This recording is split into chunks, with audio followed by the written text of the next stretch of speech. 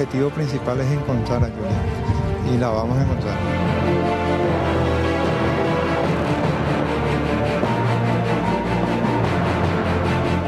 Vamos a buscar aire, tierra, agua y la vamos a encontrar.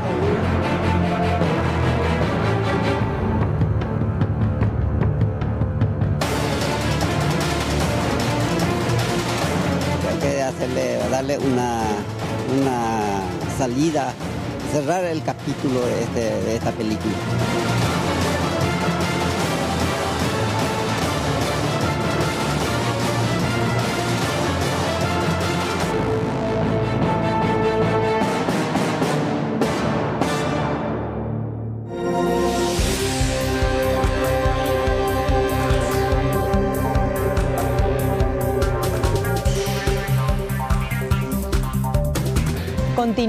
Intensa búsqueda, continúa la zozobra sobre el paradero de la pequeña Yuyu. Hoy era un día bastante importante, estábamos hablando de un pozo en donde la búsqueda era implacable, se sacó absolutamente toda el agua que estaba en este lugar, sin embargo no se encontró absolutamente nada. Tenemos todos los detalles con la cobertura total de Blanca López hoy desde este punto y vamos a hablar de esta investigación y sus avances en 24 horas. Gracias por acompañarnos y preferirnos como siempre. ¿Qué tal Aníbal? ¿Qué tal Juan? Hola Mercedes, hola Juan, un saludo a toda la audiencia del Sistema Nacional de Televisión y esta noche también vamos a compartir con ustedes un informe acerca de la situación de los numerosos albergues, al menos algunos de los 45 albergues establecidos para que los compatriotas que están moviendo al país cumplan con la cuarentena obligatoria. Buenas noches, ¿cómo están? Repasamos los números actuales del COVID-19 en nuestro país. Este era el tuit del ministro Mazzoleni hoy al mediodía y decía que hoy se procesaron 584 muestras, 9 dieron positivo, 8 procedentes del Brasil y una referente a un nexo con un viajero. 9 internados, 7 recuperados, total de confirmados 440 y los recuperados suman 142 hasta el momento. Repasamos los números totales en cuanto a las muestras que tenemos hasta este momento. 12.497 muestras y los negativos son 12.057, 440 contagiados, activos son 288 hasta el momento. Vamos al desglose de los contagiados. Hay 9 internados hasta el momento, aisladas 279 personas, 142 recuperados y 10 fallecidos. Respecto al nexo epidemiológico, 270 que llegan del exterior, 127 derivados de los primeros y 43 pacientes cuyo nexo todavía se desconoce. Hoy, desde esta mañana, se tenía una intensa búsqueda en lugares específicos buscando el paradero de la pequeña Yuyu. De hecho, que en el informativo del mediodía teníamos en vivo y en directo este desagote de un pozo de importante tamaño para poder ver si qué había en el fondo, ya que se manejaba cierta información. Lo cierto y lo concreto es que esto pasaba durante el día, durante esta intensa búsqueda.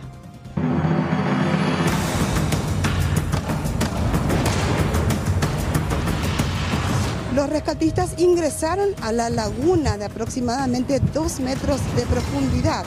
Hicieron un rastrillaje de todo el sitio y una vez más la Fiscalía agradeció que se den datos para localizar eh, algún indicio de Juliet, porque todos los hechos son verificados. En una de las búsquedas se observó ya este pozo, pero eh, tenía mucha agua y estaba cubierto de maleza.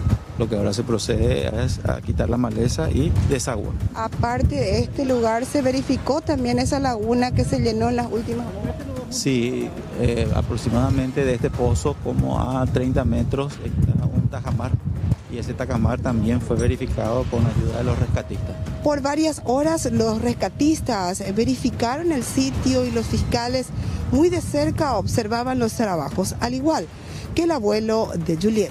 Nuestro objetivo principal es encontrar a Juliet y la vamos a encontrar. Eh, vamos a buscar aire, tierra, agua y la vamos a encontrar. Por otro lado, también genera mucha incertidumbre en la gente, pero las búsquedas también tienen su protocolo para que sea legal.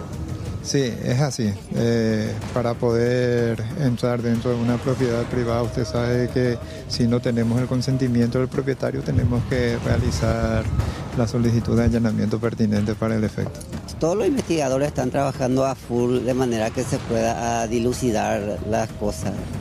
No me gustaría, ¿verdad? Esto, pero ¿qué vamos a hacer si el último caso para la solución todo es bueno por el momento, porque hay que hacerle, darle una, una salida, hay que darle una cerrar el capítulo de, este, de esta película. Rufino, ¿llegaste a hablar en estas últimas horas con tu hija? ¿La acompañaste hasta el traslado? Hice todo eso y hoy tuve, llamé, quería hablar con mi hija, quería que me vea también yo verla y es imposible estos días y me dijo la oficial de guardia que podía llevarle la cosa hasta la guardia que ella le iba a pasar y en eso estamos. Mi hija, la otra hija, cuando de ida a Asunción va a llevarle todas las cosas que va a precisar. Son varias hectáreas de zonas como esta, piedra, árboles espinosos que cubren el, el territorio en las zonas aledañas también donde se encuentra Monte Pacaná. Muchos de los propietarios paraguayos se han acercado a los fiscales para ofrecer colaboración y dar el consentimiento para el ingreso de sus respectivas propiedades. Aún así, se sigue solicitando la colaboración de la ciudadanía para aquellos que tengan algún tipo de información de dónde podría estar Juliet.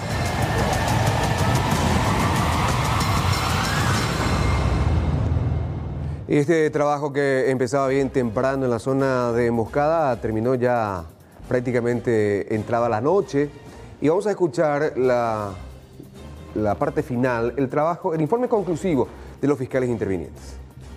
Hemos a verificar el tajamar que se encuentra acá a como 40 metros.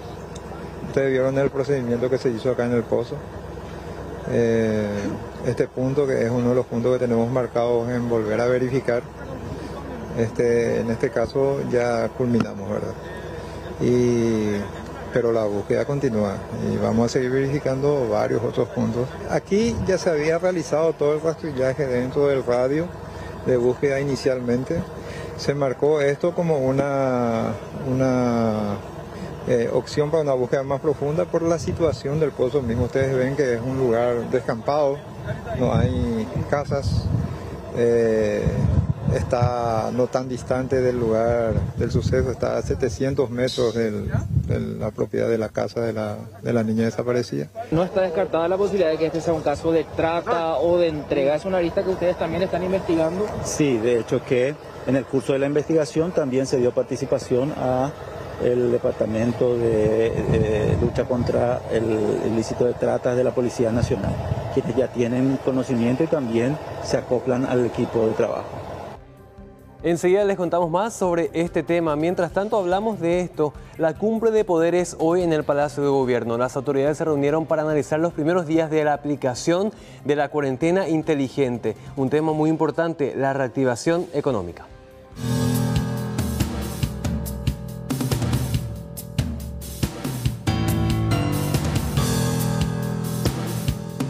Cumbre de los tres poderes del Estado, las autoridades hicieron una evaluación de la cuarentena estricta y la inteligente. Si bien el ministro Julio Mazzoleni negó que haya presión externa para adelantar fases de la cuarentena, dijo que en algunos casos existe la posibilidad de hacerlo. No hubo un planteamiento específico desde los otros poderes, pero sí eh, eh, desde, desde nuestro informe Hemos mencionado que estamos trabajando con otros sectores que aún no fueron incluidos en la primera fase. Tenemos mesa de trabajo con varios de ellos. En algunos casos eh, existe una factibilidad de poder este, adelantar fases. Eh, nosotros estamos abiertos pero el, compromiso, eh, las cuestiones económicas que naturalmente eh, son muy atendibles y que también impactan enormemente en el sector salud, eh, tienen que siempre subordinarse a, a esos conceptos. Las industrias y negocios que volvieron a trabajar desde el lunes con la cuarentena inteligente representan el 58% de la economía, según la ministra Liz Kramer. La titular de Industria y Comercio dice que en estos días no se podrán adelantar las fases. En esta, en esta primera etapa de movimiento se estima que un 58% de la economía está eh, a partir de ahora habilitada para trabajar. Eso sería en un tiempo normal, eh, no, no, es tan directamente esos números, puesto que el consumo no es el mismo, pero en términos comparativos sería aproximadamente eso. Salud nos pidió y todos los gremios con los que hemos hablado, Salud nos dijo que necesitaba necesariamente 15 días para una evaluación, que previo a esos 15 días no se podía tener una, una digamos, una, no, no tendría ningún rigor el que podamos adelantar de esos 15 días. Por tanto, esa, era, esa no era negociable. A partir de ahí, todos queremos que obviamente los sectores estén ya aliviados con su posibilidad de trabajo y dependemos de esas cifras. En cuanto a la grave crisis económica que achaca al país, la próxima semana se conocerá el plan para reactivar la economía. Del total de la deuda de 1.600 millones de dólares del plan de emergencia, en un mes ya se utilizaron o comprometieron 600 millones. Hemos llegado a más de 2.600.000 personas con los programas de contención social. Hemos puesto a disposición del sistema financiero más de 2.000 millones de dólares para crédito y hemos fortalecido el Ministerio de Salud con los recursos que ellos vayan este, acreditando. Hemos este, comprometido la, la línea de 1.600 millones, 600 millones de dólares ya. Y nosotros ya estamos pensando en el Ministerio de Hacienda en el plan de recuperación que vamos a poner a consideración de la ciudadanía probablemente la semana próxima, que va a implicar también un fuerte aporte del fiscal para este, los programas de reactivación en el área de inversión en infraestructura, en el área de la vivienda, en el área de la contención social, en el área de la de fortalecimiento del empleo y las empresas. ¿verdad? Mazzoleni aprovechó la oportunidad para reiterar a la ciudadanía que no deje de lado los cuidados básicos para prevenir el COVID, más todavía en épocas de feriados que se vienen en este mes de mayo, y dejó dos reflexiones a tener en cuenta. La, la, eh, la hiperconectividad es igual a hiperinfectividad, o sea que cuanto más nos desplazamos y distribuimos a lo largo del país, eso contribuye a la propagación de la infección. Acabamos de jugar un gran primer tiempo, eh, pero nos falta todo el segundo tiempo y el segundo tiempo es más difícil porque seguimos peleando contra el rival que es complicado, pero ahora estamos cansados. Es difícil mantener el orden, ¿verdad? Y eso es lo que tenemos que, que hacer, no aflojar para poder eh, sacarle más rédito a este tiempo.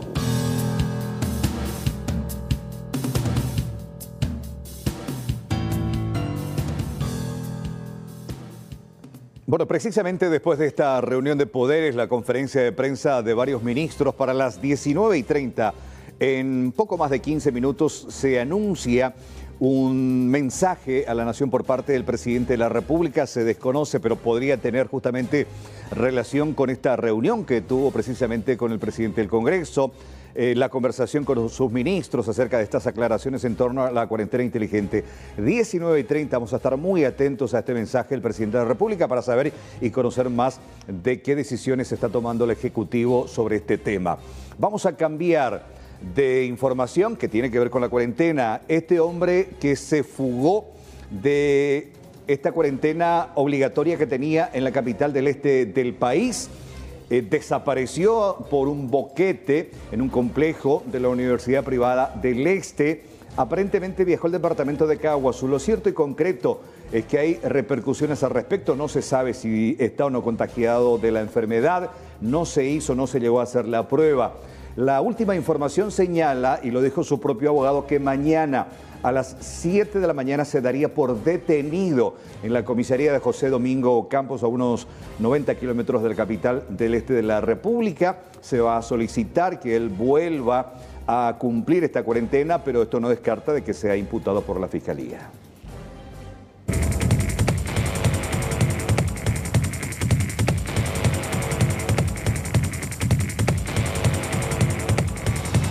Ante la fuga de una persona de 22 años de edad, de nombre Javier Alarcón Caballero, quien guardaba cuarentena en el albergue ubicado en el kilómetro 6 y medio de Ciudad del Este y todavía no se había realizado la prueba del COVID-19, aparentemente abrió un boquete desde la parte trasera del complejo para salir del lugar. Ante esto, el director de la décima región sanitaria, el doctor Hugo Kunzle, habló al respecto.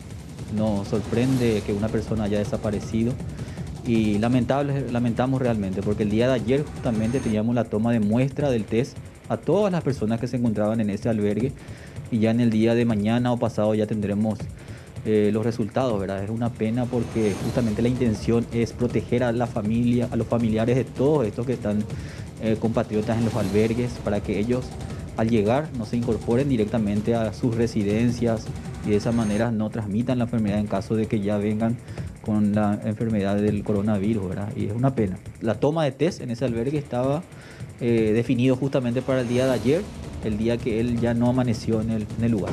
Ellos estaban todavía con el protocolo anterior, ahora ha cambiado ya el protocolo. Ellos, todos los connacionales cuando ingresan en los respectivos albergues, ahí ya se les hace la primera toma de muestra. El hombre habría tomado un bus hasta la ciudad de Juan Emilio Oleari, ubicado a unos 80 kilómetros de Ciudad del Este, donde además había otros pasajeros. Ya los responsables de la salud emitieron un comunicado mencionando que todas las personas que viajaban en el colectivo, incluidos los choferes, quedaron en cuarentena. Aparentemente sí, se trasladó con un vehículo de la vía pública y bueno, ellos también están un poco asustados, sorprendidos y la Policía Nacional y la Fiscalía está detrás de este caso. Ya sabemos su residencia, sabemos dónde está. Entonces yo pienso que pronto tendremos alguna novedad al respecto. Asimismo, instó a todos los connacionales que llegan desde el exterior a someterse a la cuarentena obligatoria, ya que esto constituye una medida de prevención y es muy importante para seguir disminuyendo los casos de COVID-19 en nuestro país. Fue encontrado el cuerpo sin vida de un joven de 25 años en la zona de Capiatá. Allanaron la vivienda de su expareja y de hecho detuvieron a la mujer. Ocurrido el día de ayer en la zona de Capiatá, específicamente en el kilómetro 21 de la ruta 1, se realizó un allanamiento en la casa de la expareja de la víctima que fuera encontrada, por lo menos tendida en el suelo el día de ayer en un predio baldío. En este caso se trata de Víctor Hugo del Valle de 25 años y su pareja María Naila Rolón de 22 años surge como la principal sospechosa del posible homicidio ocurrido en esta ciudad. Teníamos como hipótesis el suicidio, pero después de que el forense haya revisado el cuerpo en la morgue, que fue lo, sugerible, eh, encontramos, encontró de que la víctima tenía una herida producida por arma blanca, eh, casi en la zona de la espalda, eh, en la zona de la axila. Estamos en presencia de un homicidio por parte de un tercero. Eh, la pareja está en carácter de aprendida, teniendo en cuenta que existen algunas contradicciones en sus manifestaciones. Todo eso debe ser contrastado con elementos de prueba que eh, para ese efecto estamos en este lugar en la búsqueda de, elementos probatorios que, que, vinculen específicamente lo que hasta, hasta hoy día tenemos es que el arma blanca que fue utilizado para acabar con la vida de la persona salió de esta casa, es de esta casa, porque la mamá reconoce, eh, la suegra reconoce como tal y también la expareja. El allanamiento fue realizado a pocos metros nada más del lugar del hallazgo, en el barrio Loma Barrero, del kilómetro 21 y medio de la ruta 1 en la ciudad de Capiatá.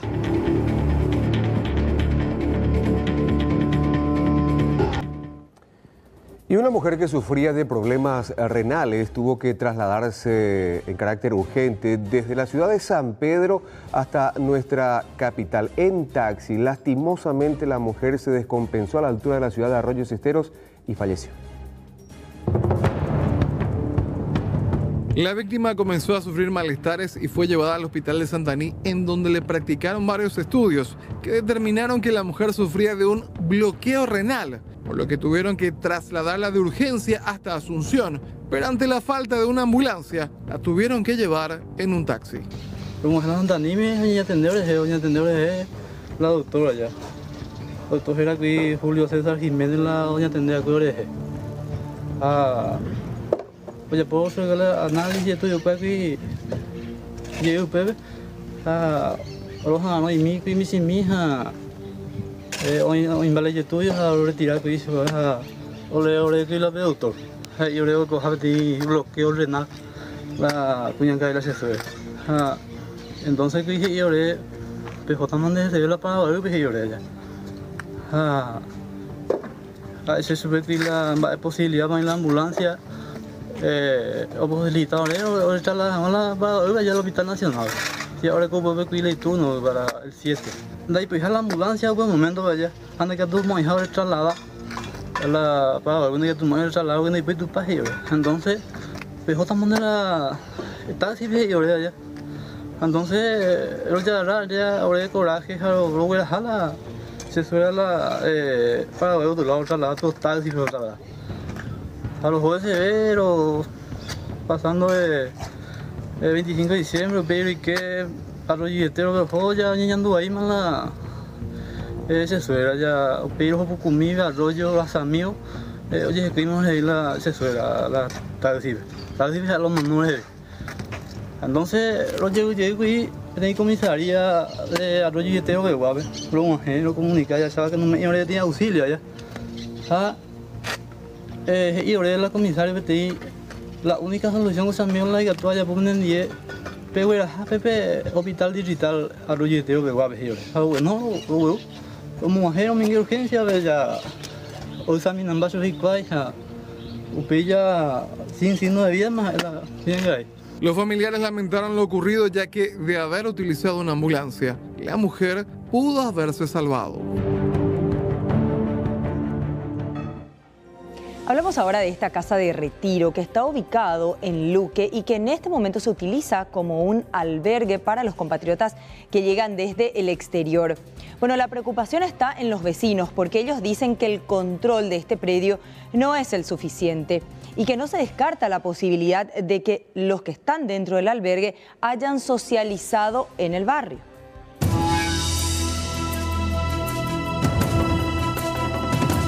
En la casa de retiro se encuentran unas 60 personas guardando cuarentena bajo la custodia de una sola patrullera. En el barrio, los vecinos están sumamente preocupados porque el escaso control podría tener graves consecuencias en el caso de que alguna de estas personas escape sin saber si es portador o no del COVID-19. Se acercaron, pero no se les puede vender nada.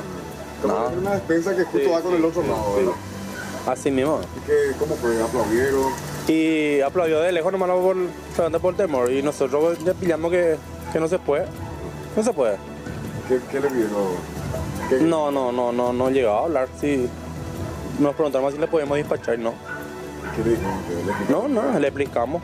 Que no, disculpe que no, no se puede. Ah, nadie, no, ellos no lo avisaron. Ellos, lo que yo escuché, de un día, un, las 12 del día, llegaron todos nomás ya ellos. Nadie nos avisaron. ¿Y qué suelen ver? ¿Movimiento de ambulancia? No, nada no vino. Solamente ellos vinieron en un camión militar grande. Y en eso lo que vinieron todos ya se quedaron todos. Lo que yo escuché los vecinos de hacia el otro costado que se enojaron todos porque ellos salieron hacia ahí. Eso es lo que yo escuché. Versión de que salió los, que estaban dentro de la casa salieron en el almacén. ¿Almacén? El almacén que está en el costado, ahí lo que se fueron todos. Luego de la denuncia vecinal pudimos constatar que efectivamente el perímetro de la casa de retiro presenta estas condiciones, con lo cual es difícil hablar de que en este sitio se mantendrá la seguridad y el control estricto sobre las personas que guardan cuarentena. Realmente hay mucha certeza de que esta gente salen, salen por las noches.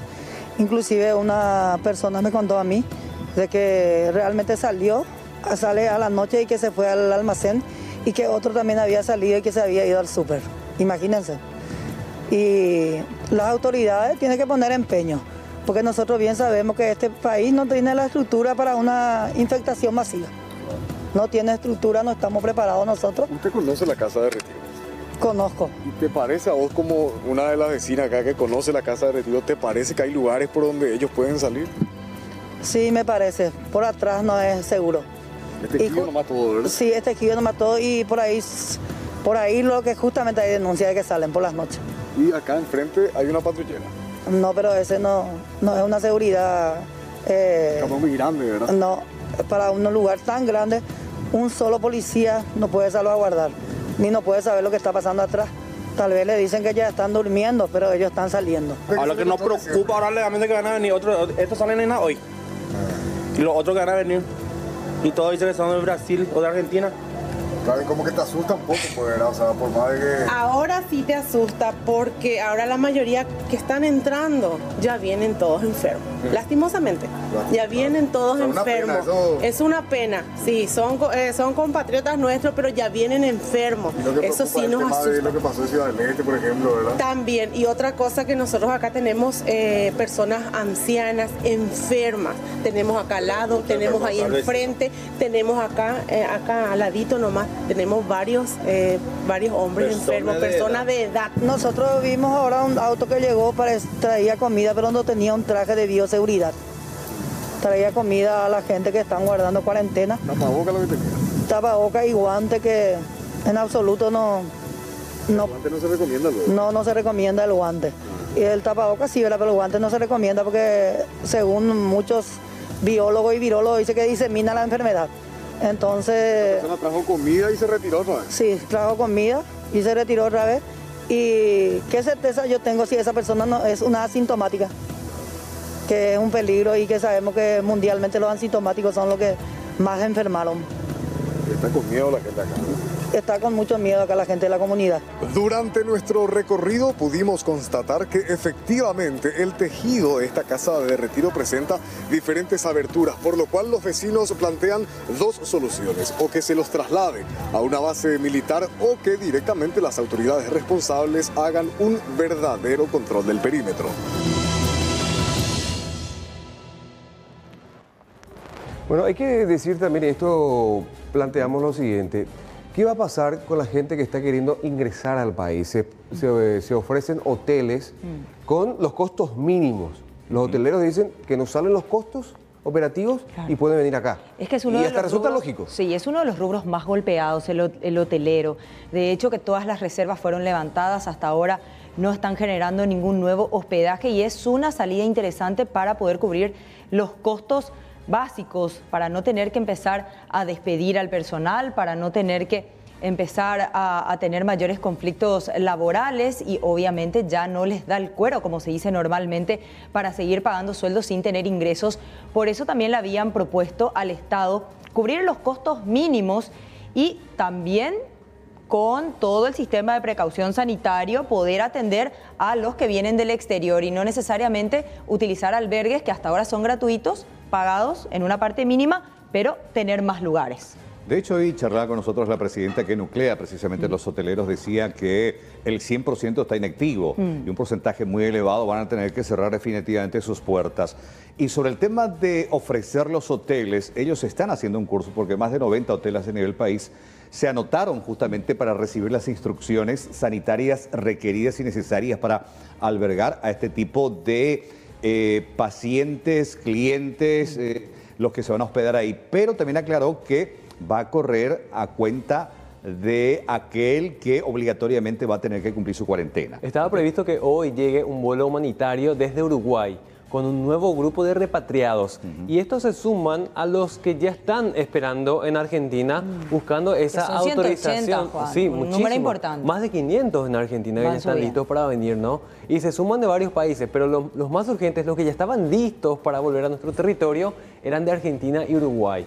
Van a seguir esperando, todavía un acuerdo, a ver dónde sacamos la plata para pagar a estos hoteles por el momento. Bueno, vamos a tomar la señal. Habla el presidente de la República en este mensaje a la nación y esto tiene que ver justamente con lo que ocurría hoy en esta reunión de poderes. Apreciados compatriotas, desde el Ejecutivo queremos hacer nuestro mayor esfuerzo para mantener la confianza de ustedes, que haya transparencia en la gestión.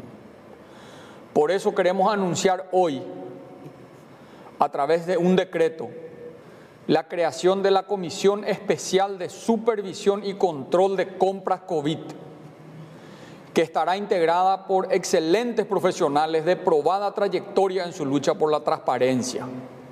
Y hoy, a cargo de Arnaldo Yucio, el objetivo es que todos los paraguayos estén informados sobre el uso de los recursos de la ley de emergencia.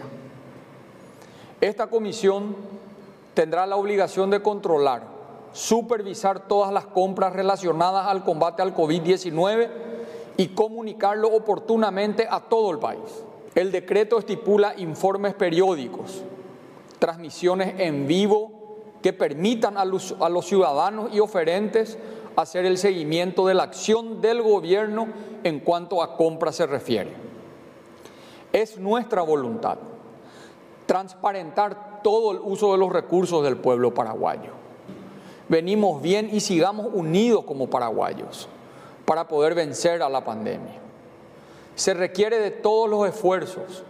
Nadie debe quedar fuera de colaborar en esta hora que vive nuestra República. Paraguay nos necesita unidos y comprometidos en esta lucha. Muchas gracias. Bueno, reiteramos, acá tenemos justamente el decreto que recién hacía referencia el presidente de la República sobre la creación de esta comisión. Evidentemente está sacudiendo fuerte las denuncias y que permanentemente esté bajo la lupa investigativa varios hechos que tienen que ver justamente con la compra de insumos.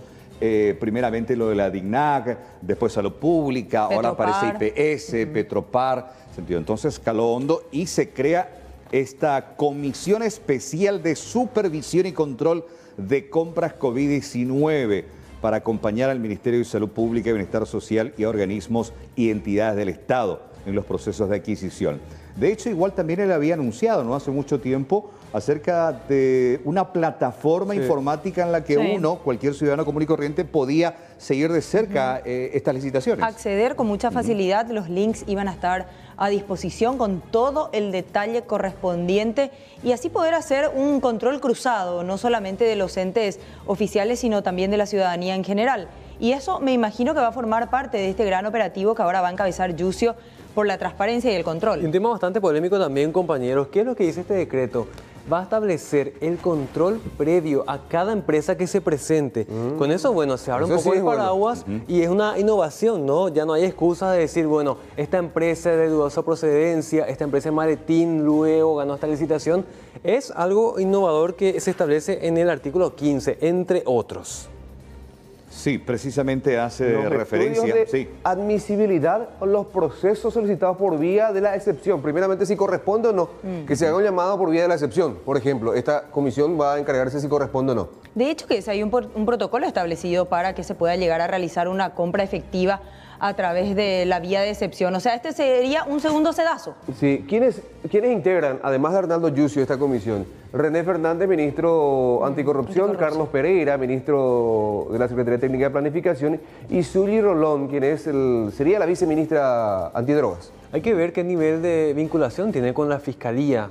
En el caso de que se presente algún informe de irregularidad, ¿se va a de- derivar directamente al Ministerio Público o cómo va a actuar la justicia? Y, evidentemente se tiene que derivarse al Ministerio Público si es que encuentran hechos anormales. Ese es el procedimiento. Vos sabés que otra de las cosas que veo también acá, sí, podemos seguir en el artículo 14, fíjense, para tratar de dar mayor transparencia, dice, recibidas las propuestas de los oferentes, esta comisión verificará que las convocantes realicen la apertura de sobres y evaluación de ofertas en audiencias públicas con transmisión en vivo por los medios habilitados para el efecto.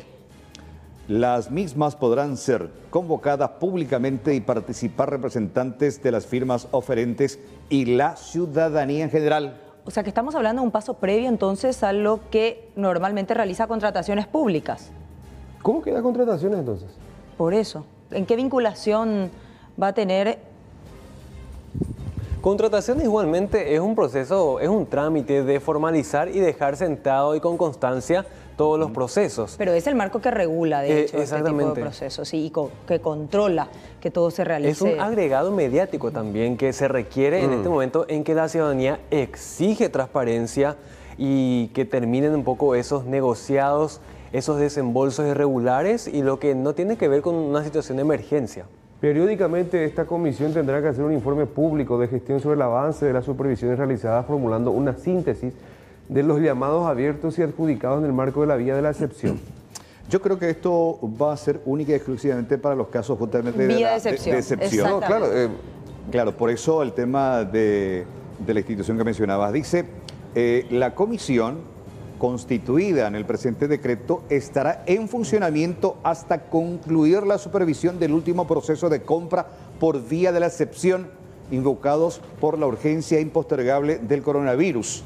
Concluido el último proceso de compra, se procederá al cierre de la gestión de control, debiendo remitirse un informe final consolidado al equipo económico nacional, donde se detallarán todos los procesos de compras supervisadas, solicitadas y concluidas, desglosadas y con la mayor precisión de detalles posibles. Bueno, vía por la compras por la vía de la excepción.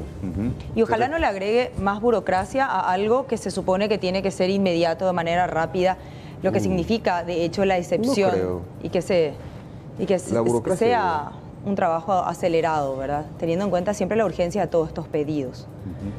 Muy bien, nueva comisión entonces de supervisión y control de compras, esto en el marco de nuestra realidad COVID-19. Suele decirse que la creación de comisiones es para Retrasar. obstaculizar todo. Así mismo. Ojalá Bueno, que se esto no sea así. entiende- Se entiende que todos los jugadores en este caso son del mismo equipo, un, poder ejecutivo Mm. que busca transparentar su gestión después de dos grandes escándalos, tres incluso podríamos mencionar, en cuanto a compras irregulares, si se Hablando puede de escándalos, ¿cuándo llega el, el carguero con más insumos? Sale el 12, llega, eh, sale el 10, llega el 12. Según los planes, sale el 10 de mayo y llegaría el 12. ¿Cuándo se abriría la carga? Eso siempre está. Suponemos que ahora las empresas eh, y Medic y Eurotech ya van a traer eh, insumos de calidad, o por lo menos los insumos comprometidos. Saldría el domingo, llegaría el martes. Sí. Porque viernes 8, Sí. 9, 10 y el martes. Bueno, hay que Una ver, semana se Hay que ver con la hora china también, Carlos, que eh, de repente hay como 12 horas de diferencia. Entonces, eh, también con las escalas y el descanso requerido de los pilotos, estaría llegando para el día martes. Bueno, reiteramos entonces esto que tiene que ver con la creación de esta Comisión Especial de Supervisión y Control de Compras COVID-19. Compras vía de la, por vía de la excepción. Sí, vía de la excepción. Eh, ¿Termina todo este tema de la pandemia, la compra de excepción? Y se, supone que tiene que desaparecer. Eso este- dice el decreto. Sería bueno saber si esto incluye a contrataciones por vía de la excepción. Porque una cosa es insumos, equipos. Acá dice compra insumos. Y otra cosa es también el personal que va a trabajar durante este Mm. periodo. Bueno, hacemos una breve pausa, brevísima. Ya regresamos.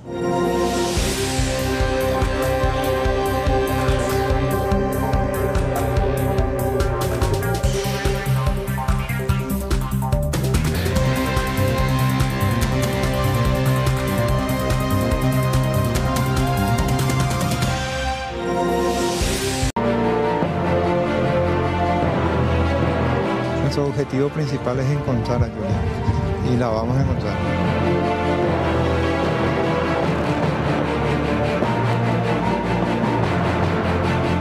Vamos a buscar aire, tierra, agua y la vamos a encontrar.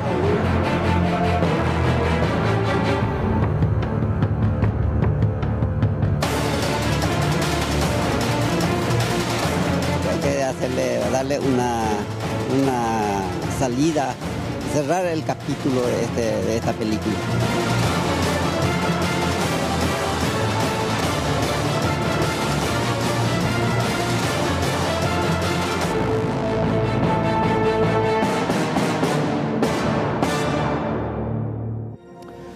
Bueno, 19 con 42 minutos. Vamos a hablar acerca del sector bancario público, en este caso, que lanzó a mediados de marzo aproximadamente eh, un paquete de ayuda económico para sectores eh, más afectados por esta crisis del coronavirus. Por eso vamos a hablar de este tema y también invitamos a un sector bastante afectado que desde un principio lanzó ese SOS para recibir algún tipo de asistencia, de ayuda principalmente por parte del Estado y saber un poco cuál es la situación actual.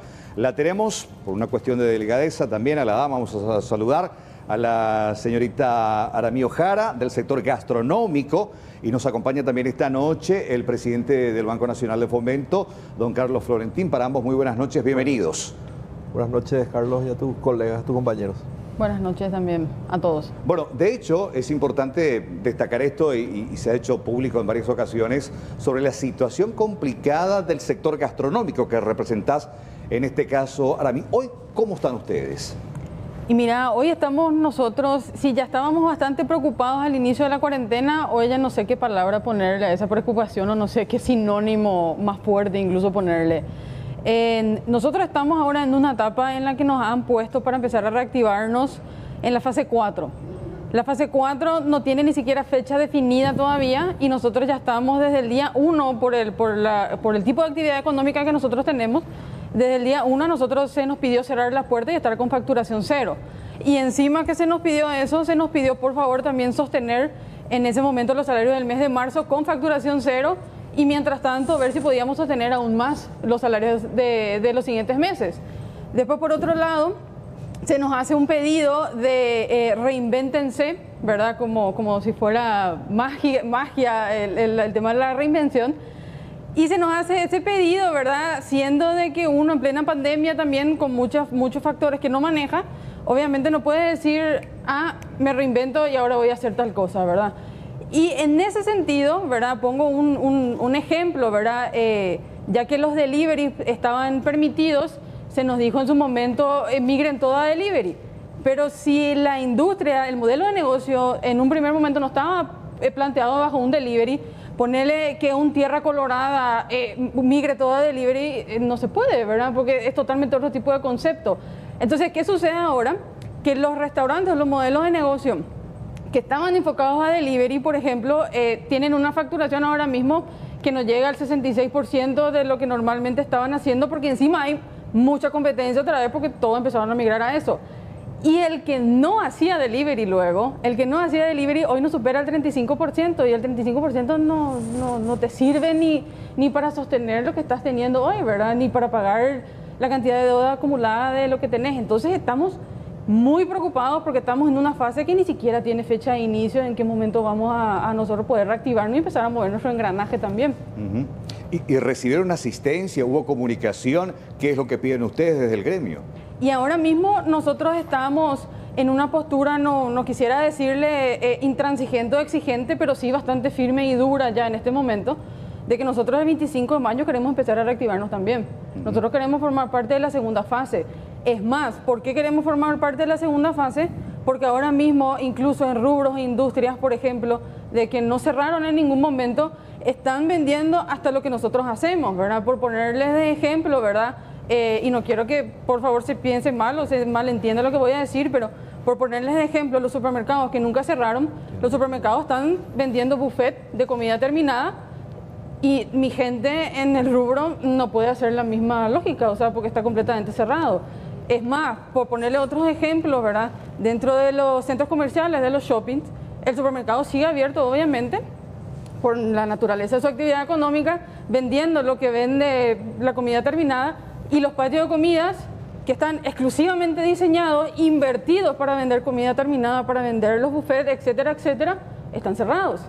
O sea, ni se les da la chance ahora de que de repente eh, todas las sillas del patio de comida estén levantadas, que nadie se pueda cerrar, pero que haya por lo menos una rotación de gente ahora que se empezó a reactivar incluso las zonas de las oficinas comerciales. Que pase a retirar por lo menos la comida. Ni se le está dando esa chance, ¿verdad? Y, y- y le dijeron también, reinvéntense y hagan delivery, ¿verdad? Desde el patio de comida con algo que no estaban acostumbrados. Que genera tampoco. otra inversión también, que en este momento, en este momento muchas empresas no están en condiciones de realizar una nueva inversión con tanta incertidumbre. Y ni siquiera que no están, ponerle que tengan la voluntad, porque toditos tenemos la voluntad porque queremos sostener nuestra inversión de toda la vida y por otro lado queremos sostenerla a nuestras familias que para nosotros son los empleados, ¿verdad? Estamos hablando de empleados de 5, 10, 12 años, ¿para qué queremos perderlo nosotros a esa gente y tomar la decisión de repente de, terminar contratos si ya tienen todo nuestro enojado? Si, si ya nos acompañaron en el crecimiento. Entonces, ahora mismo nosotros estamos totalmente sin oxígeno, totalmente sin oxígeno. Los créditos también no están viniendo con la rapidez con la que tenían que, que venir. En su momento la ley de emergencia habló, eh, recordamos bien, el, ministro Benigno agarró y dijo, con, esto noso- con, con este paquete de ayuda a las pymes, nosotros queremos lanzar o llegar aproximadamente a 80 mil créditos. Los créditos hoy nos están superando, nos, creo los 7 mil no sé qué nos están superando. Y, y precisamente al respecto lo tenemos al presidente del BNF para que nos cuente y por ahí responder también a- al sector eh, gastronómico que forma parte de estas pequeñas y medianas empresas. Eh, ¿Hay créditos? ¿Por qué no está llegando? ¿Por qué la demora? ¿Qué, qué respuesta hay, presidente? Bueno, ahí yo creo que hay que separar un poquitito ahí en el sentido de que, eh, bueno, eh, no es excusa, pero puedo mencionar que el Banco de Fomento tiene una un 6% de participación del sistema, ¿verdad? Eh, nosotros nos estamos reuniendo con los gremios en general, estamos recibiendo carpetas, pero así también como estamos, como habló, eh, hablamos recién del reinventarse, el banco también tiene que buscar procesos nuevos porque las pymes no era el fuerte del banco, ¿verdad? Es decir, eso es claro, ¿verdad? No éramos un especialista en pymes, como te dije, el 10% de nuestra cartera total estaba en pymes. Hoy tuvimos que hacer procesos o cambios, eh, eh, llevar gente de otras áreas, ¿verdad? cubrir ese, ese espacio bueno, para atenderle a los clientes. Hoy creo que estamos llegando a 635 créditos a pymes, un monto de más o menos 130 mil millones. ¿verdad? Yo calculo que este fin de, este, esta primera semana de mayo estaríamos terminando por encima de los 700 créditos. Pero decimos 700 créditos para Banco de Fomento por su estructura. Nosotros estamos muy satisfechos pero estoy, también somos conscientes y sinceros que no estamos llegando a todos, ¿verdad? No estamos llegando a todos, entonces eh, eh, ahí es cuando el, el, gobierno y a través de la FD se capitaliza al Fondo Bonapi, que es una forma de garantizar este crédito a mi pyme, porque sabemos que en pyme hay un cierto riesgo mayor a cualquier otro tipo de crédito, ¿verdad? Entonces, llegando a eso, eh, es un incentivo al sistema bancario en general, que tiene el 94% de la torta de créditos, que es la que tiene que llegar a este segmento. ¿verdad? También hay bancos especializados en pymes, es un segmento. Entonces, ahora, cada banco, por supuesto, maneja su capital, su decisión, no es lo mismo, por eso BNF sí es un banco del Estado y nosotros sí tenemos que salir. Estimo que este mes de mayo nosotros con todo el proceso que estamos mejorando que te mencioné, estamos llevando gente, Estamos contratando nuevos analistas a través de una ayuda que estamos recibiendo del BID, ¿verdad? donde nos van a ayudar a, por medio de una consultora. Yo creo que este mes de mayo vamos a poder ser más eficientes ¿verdad? y poder salir, eh, poder sumar más cantidad de créditos al segmento. ¿Cuántos analistas tienen hoy en día? Bueno, para, un banco tan grande como es el BNF. el, el, total de analistas estamos en 20 personas más o menos al inicio. Hoy llevamos ya creo que más de 35 personas porque mudamos de otras áreas, ¿verdad? y ahora se suman 10 personas más y yo creo que en un mes si nos liberan las contrataciones estaríamos sumando 10 más. Yo creo que vamos a estar entre 40 45 personas para pymes. Pyme es realmente un segmento muy especial, ¿verdad? No es masivo como consumo como tenía el banco porque eh, Pyme tiene una forma de trabajar diferente, ¿verdad? No, por eso no muchos bancos son especialistas en pymes. El, el, presidente en pyme a veces se necesita también oficiales de crédito especializados porque se van a visitar la pyme, sacar fotos del negocio, ¿verdad? A veces las pymes no tienen balances, por ejemplo, ¿verdad? Lo que sí tienen facturación, Eh, tienen los impuestos que pagan. Entonces es otro estilo de que una empresa mediana corporativa y consumo totalmente diferente, porque un asalariado y todo lo demás. Entonces, bueno, esa especialidad es la que estamos nosotros ahora también eh, eh, entrando, ¿verdad? Nos estamos perfeccionando, ¿verdad? Y yo estoy muy contento con el equipo, le están poniendo mucha fuerza, mucha dedicación, muchas horas. Y yo creo que en mayo nosotros vamos a llegar a más, a más puestos. Pero también somos sinceros, como dije, nos reunimos con los gremios y sabemos que son muchísimos. Cuando hablamos con Cristina, hablábamos de, me estaban diciendo, tenemos 3.000 gremios de restaurantes, me estaba diciendo, entonces, 3.000 carpetas si llegas a recibir, eh, para, eh, eh, es un monto importante. Yo, creo que también esto pasa por dónde, porque el Banco Estatal, hablando de todos los bancos, pero el Banco Estatal es el único que ofrece 7% y un año de, gracia. Entonces, creo que es el mejor dentro del, porque todavía el sector privado está ahí. Aunque ahora a mí me dice, ¿por qué te gustaría que sea más eh, menor la, tasa en esta situación de crisis? Y, y mira, Carlos, eh, siendo sincera, en realidad desde, desde, el día uno nosotros planteamos eh, de que los créditos no deberían de superar el 5 o 6%, que debería de tener un año de gracia como mínimo y tres años de plazo otra vez encima, ¿verdad? porque estamos hablando de que nosotros, viniendo de una recesión, estamos entrando a otra, peor otra vez, y encima otra vez nos van a pedir, ¿verdad?, a las empresas, a las pymes que soportamos el 70% de la población económicamente activa de este país, nos van a pedir otra vez que nos empecemos a reactivar para generar riqueza y para volver a generar los empleos y sostener los empleos. Por ponerle algunos datos también, nosotros en concordancia con la UIP, con la Cruz Roja, que estamos constantemente internamente y también con ellos y otros gremios, eh, cotejando datos, ¿verdad? Que tenemos. Si nosotros seguimos con esta situación sin oxígeno como la que estamos teniendo las pymes de, todos los rubros, ¿verdad? si seguimos con esta situación, nosotros estamos hablando de que a final de este primer semestre del año, el 20% de las empresas formales e informales van a terminar quebrando. Y eso significa, mal que bien, entre todos nos pusimos de acuerdo que significan aproximadamente casi medio millón de personas que van a que terminar quedando desempleadas. Y somos un país de 7 millones y algo de personas. Si eso cortamos a la mitad, ahora mismo la pobreza y pobreza extrema estaba nomás lo ya en casi 2 millones de personas, sumarle medio millón otra vez a eso entonces estamos hablando de algo que se viene, que nadie le gusta decir, ¿verdad? A mí me dicen, no vayas a decir más eso en la tele, ¿verdad? Pero ¿qué es lo que se viene potencialmente? Un estallido social. Que no hay subsidio que pueda sostener. Para mí, una, pregunta, programa. una pregunta que tiene que ver también, después le vamos a repreguntar al presidente del banco, ¿no? Nos dicen los técnicos del BNF, es muy frustrante para las empresas recibir ese no del banco, ¿no? ¿Cómo se vive eso? Y posteriormente también para el presidente, ¿por qué se dan esos rechazos y cómo tiene que ir preparada una empresa para eh, recibir esa ayuda tan esperada? Nosotros ahora tenemos, eh, por suerte, también trabajando con la OIP Joven y con la ACEPI, ¿verdad? Esas, estas clínicas de, asesor, de asesoramiento, ¿verdad? Para, para las empresas, ¿verdad? Que varios están encausados por ahí.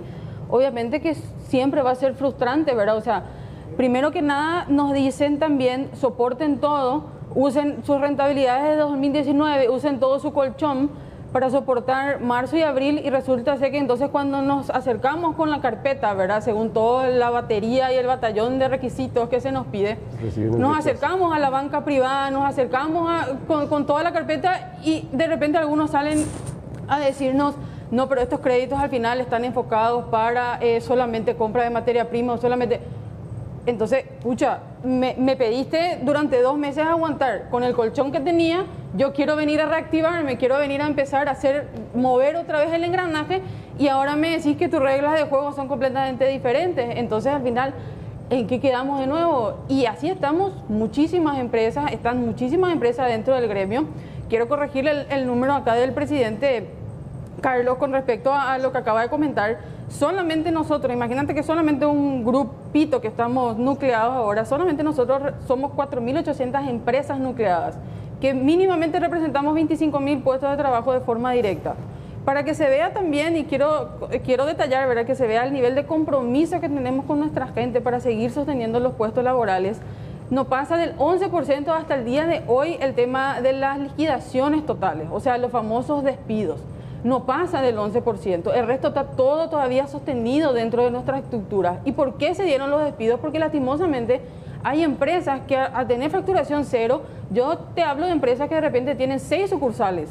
Las seis sucursales se les cerraron. Te hablo de empresas de más de 300 personas. ¿Cómo, cómo vas a sostener con facturación cero tanta, tanta cosa grande? Eh, interrumpimos, eh, me permiten, Aramí, presidente, porque vamos a contactar con Rodrigo Mancuello. Hace minutos nada más fue detenido el joven de 22 años, Javier Alarcón, este, esta persona que se había fugado de uno de los albergues de Ciudad del Este hace 48 horas aproximadamente. Rodrigo Mancuello está en el seguimiento de esta información. Rodrigo, buenas noches. Buenas noches compañeros, buenas noches también para toda la teleaudiencia del Sistema Nacional de Televisión. Bueno, ahora estamos siguiendo a la patrulla de la Policía Nacional. Eh, bueno, ellos se están dirigiendo hasta Juan, eh, bueno, hasta Oleari, hasta la ciudad de Oleari. Eh, del Alto Paraná, unos 80 kilómetros de Ciudad del Este, donde se produjo la detención de esta persona que se había eh, fugado de un albergue en el kilómetro seis y medio. Esta persona que se fugó a través de un boquete, recordemos, en la parte trasera eh, finalmente los, bueno, los agentes policiales y también los vecinos de la zona lograron dar con el paradero eh, de esta persona que bueno, eh, presumiblemente y también cabe mencionar que según las informaciones y también según la confirmación del director de la décima región sanitaria, el doctor Hugo Kunzle, él había confirmado esta tarde que esta persona no se realizó la prueba del COVID-19. Así que hasta el momento no se sabe si esta persona es portadora del virus del COVID-19, compañeros, o no lo es.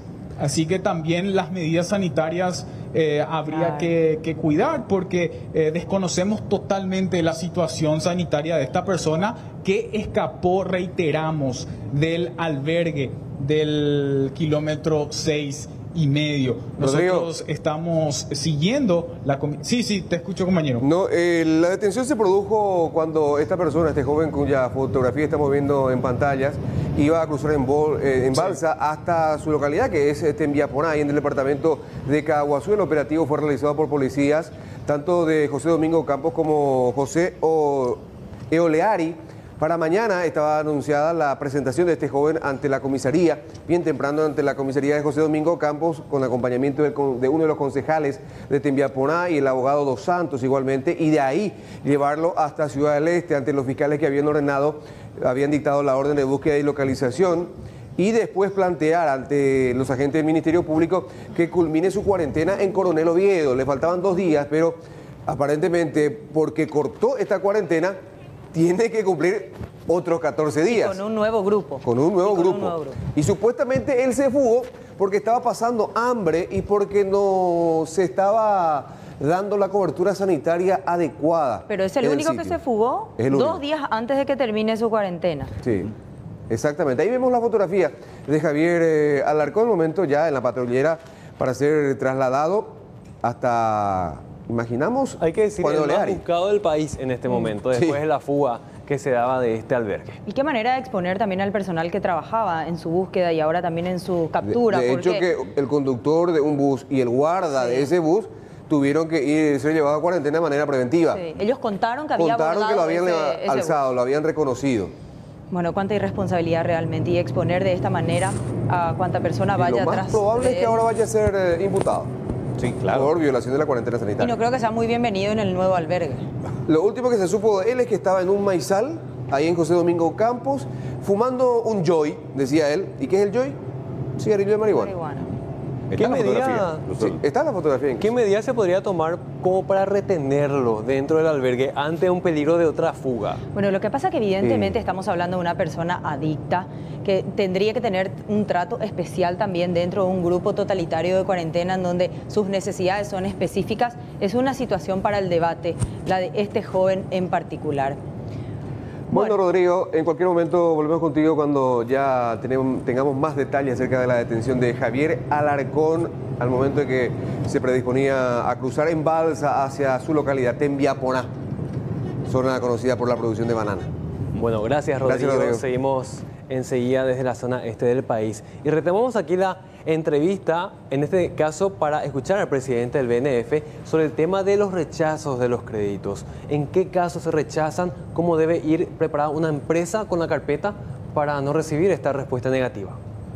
Bueno, eh, sobre el punto, realmente un porcentaje importante de carpetas que analizamos se rechazaron, ¿verdad? Eso es, es, es así y los, los principales puntos son, eh, y acá no voy a dar como ejemplo el caso de, un segmento que estamos hablando, que estamos compartiendo acá, sino que en general las pymes.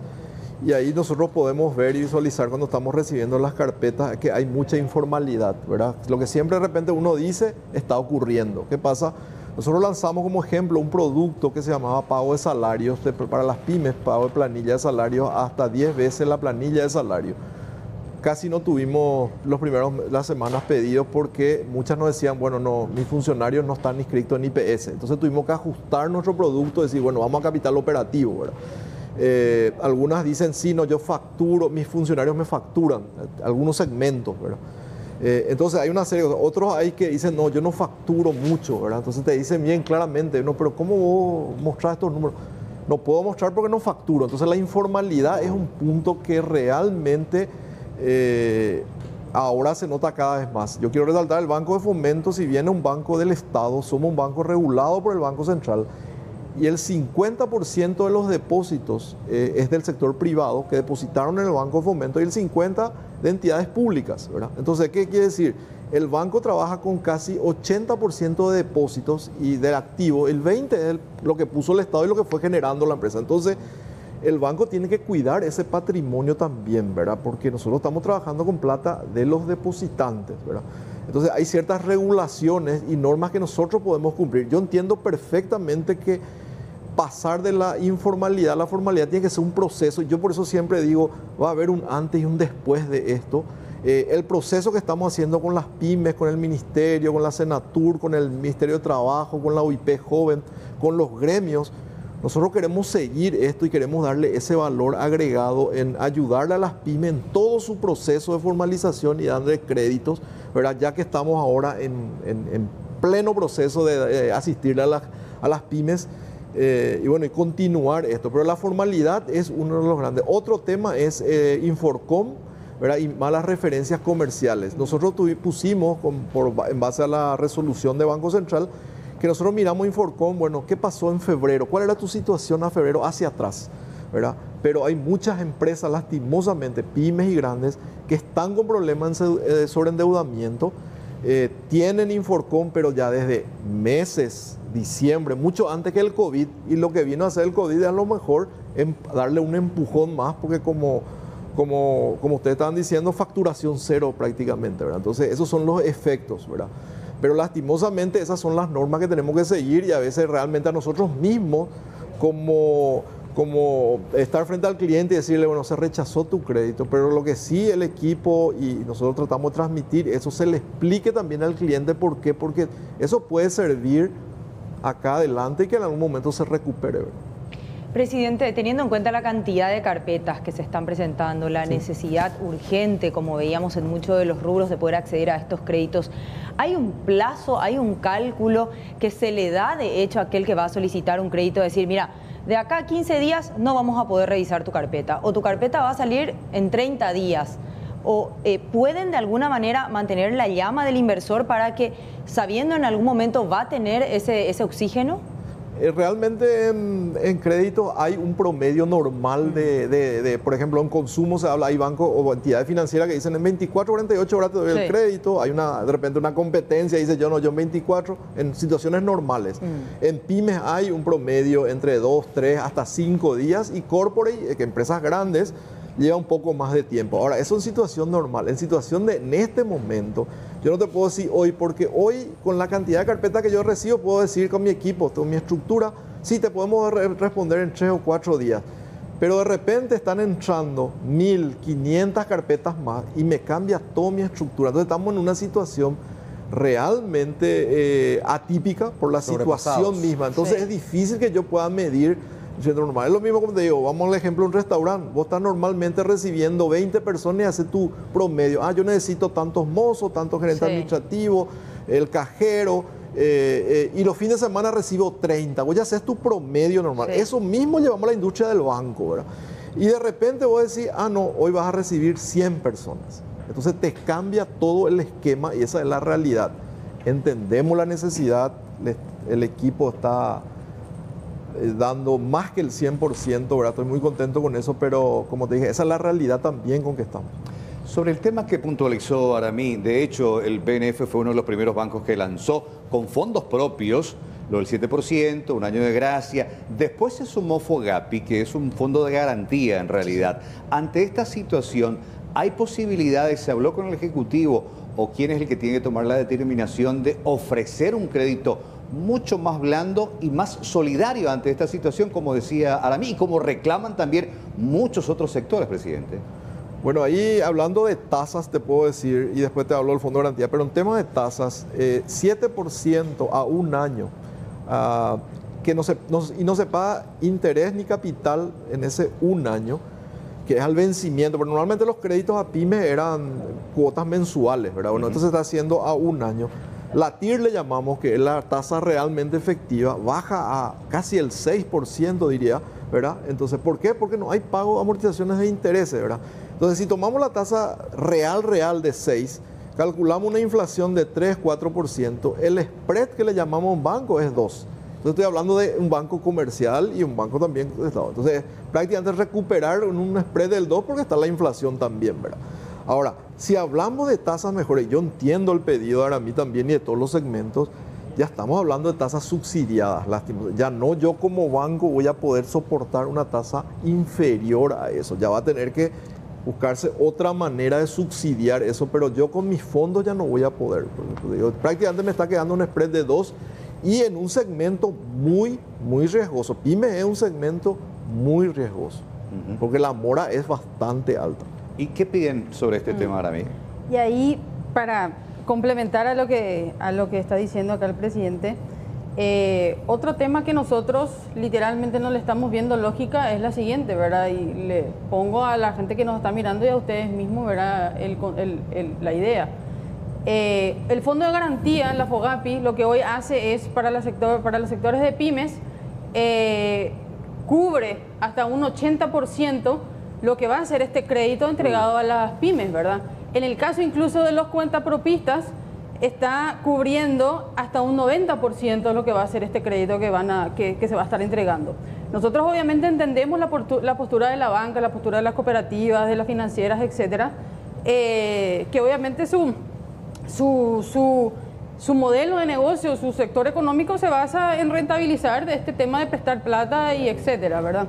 Ahora bien, eh, nos encantaría a nosotros, a nosotros, ¿verdad? Como pymes también tener la seguridad que le está dando al Estado a la banca en el caso de decirle, si por algún motivo no te están pagando o terminan sin pagar, de, no pagarte el crédito que vos le estás dando, por más que sea riesgoso, etcétera, yo Estado te voy a devolver el 80%, o sea, me hago cargo de devolverte el 80% Le de ese garantiza al crédito. banco, pero no a las personas. ¿verdad? Claro, o sea, entonces a mí me encantaría, a mí, a mí, tener que el Estado, entonces, si la banca privada no se va a hacer cargo de semejante compromiso estatal, porque de repente hasta estamos escuchando que, que hacen comentarios como el Estado no es un buen garante, no es buen pagador, entonces, pero ¿de qué estamos hablando? O sea, se- se- de repente se sacan bonos y se compran bonos. Eh, IPS presta plata al sector financiero. O sea, ¿en qué sentido el Estado no es buen pagador entonces finalmente? Eh, denme, dennos a nosotros directamente de alguna manera, ¿verdad? Ese 80% y nosotros le vamos a hacer rendir, ¿verdad? O sea, si estamos manejando la estructura económica micro de este país y durante tanto tiempo la estuvimos manejando, entonces ¿dónde está la lógica ahí de lo que se está respondiendo de, parte de la banca?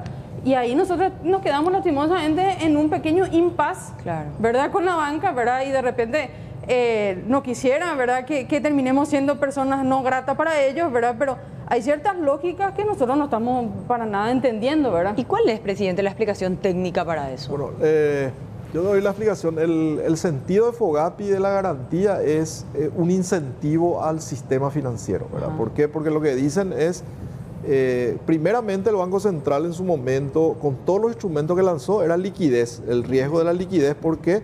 Porque como para todo, las mismas empresas empiezan a usar sus fondos, entonces sacan los depósitos. Entonces uno decía, bueno, un problema, puede haber un problema de liquidez, entonces vos como banquero cuidas tu liquidez. El Banco Central puso todas las herramientas posibles, todos los instrumentos posibles en liquidez y pasamos a otra fase, cuando la gente también decía, no recibo el crédito, que era la fase, bueno, el riesgo, ¿verdad? Hoy justamente he visto una publicación de Banco Central de una encuesta del sector bancario donde decía que más del 90% dice que hay mucho riesgo hoy para dar. Imagínense el riesgo. Entonces lo que dijo, eh, lo que se hace el gobierno, el equipo económico y la FD dice, un incentivo para la- al sistema financiero en total para otorgar es que yo te garantizo la operación.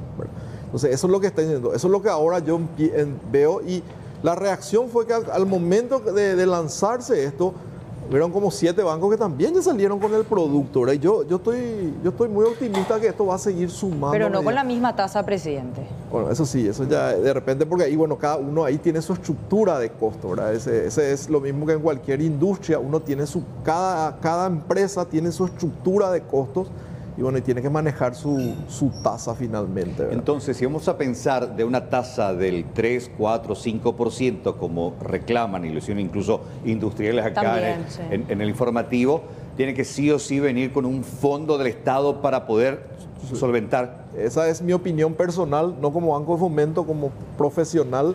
Para mí una tasa del 3 en Paraguay hoy es subsidiada, ¿verdad? Ya es, tiene que recibir un subsidio de otras pero ya no puede manejarse con fondos propios de la institución. Ese es mi análisis técnico que les puedo decir. Porque es práctica- prácticamente es cubrir tu inflación, ¿verdad? Y no, no ningún spread financiero sobre esa operación. Pero la idea pues no es ganar, presidente, la idea No, no, es claro, ayudar y auxiliar, salvar. Claro, claro, por eso digo, pero siempre cuando uno, cuando uno piensa en, uno dice, bueno, pero yo estoy cubriendo el spread para cubrir el dinero, pero ahí no tomaste todavía otros costos, que es la mora, por ejemplo. ¿Verdad? Hay, hay en segmento de pymes mora, hay bancos, que, eh, segmento de pymes que hay mora de 10, 15, 20, hasta mucho más en ese segmento de pymes. Entonces también ese es un costo que forma parte de la tasa final, porque la tasa final no es solamente el costo financiero, está la tasa de la morosidad que te da, está tu costo administrativo que vos le sumás y otros ciertos costos que tenés que asumir como entidad financiera Ahora- para sacar la tasa final. Presidente, yo escucho realmente toda la parte técnica con muchísima rigidez, ajustándose siempre a un sistema, pero estamos hablando de una situación excepcional. De hecho, que también se podrían hacer algunas excepciones y flexibilizar un poco más el sistema para que más gente pueda tener una respuesta más rápida. ¿Es, es viable eso? Y yo creo que eh, hubieron varias flexibilizaci- flexibilizaciones por resoluciones del Banco Central. ¿Qué más se puede hacer? Yo, bueno, yo creo que esto semana tras semana se sigue, se sigue analizando. Yo creo que en algún momento, si hace falta, a lo mejor el Banco Central, la superintendencia, que es la que regula a los bancos de la financiera, va a analizar seguramente y pensar, bueno, si este es un problema, a lo mejor va a sacar una resolución. Yo, estoy, yo sé que ellos están reunidos día a día y viendo el análisis de esto y si, si yo creo que hay una necesidad de flexibilizar, va a tener que hacer. Ahora, yo como ente regulado, y no solamente regulado por, por el Banco Central como entidad de banco, también tengo regulaciones de Contraloría y otras instituciones, yo me tengo que lastimosamente ceñir a, la- a- eso, a esas normas, ¿verdad? Por más que yo sé que tengo que ayudar. Puedo flexibilizar hasta ciertos momentos, hasta ciertas cosas, pero tengo un límite, ¿verdad? Con toda esta descripción, Aramí, y, y viniendo del presidente de- del banco que está ofreciendo, digamos, mayores ventajas. Si bien ya hablaste de, una, un estallido social, eh, ¿qué piensas ahora? No, con el, con el presidente Carlos, nosotros en su momento ya estuvimos también reunidos viendo el tema de las flexibilizaciones de algunos requisitos, ¿verdad? Dentro de todo, entre lo que salió del Banco Central del Paraguay, más los que ellos también flexibilizaron, y hay que reconocer que fueron los primeros en lanzar los créditos también, ¿verdad? Eh, nosotros agradecemos el trabajo, obviamente, del Banco Nacional de Fomento, ¿verdad? Que se está aportando y trabajando tanto con la CEP y con la OIP Joven, ¿verdad? Que son ahora los que tienen clínicas que nosotros estamos utilizando con, con el gremio, ¿verdad? Ahora bien, mi consulta, por ejemplo, es la siguiente en cuanto a, a- a de repente hacer los comentarios de, de que el gobierno no puede interceder de gran manera con la, con, con la gente de la banca privada, ¿verdad? Nosotros hacemos el siguiente paralelismo, ¿verdad?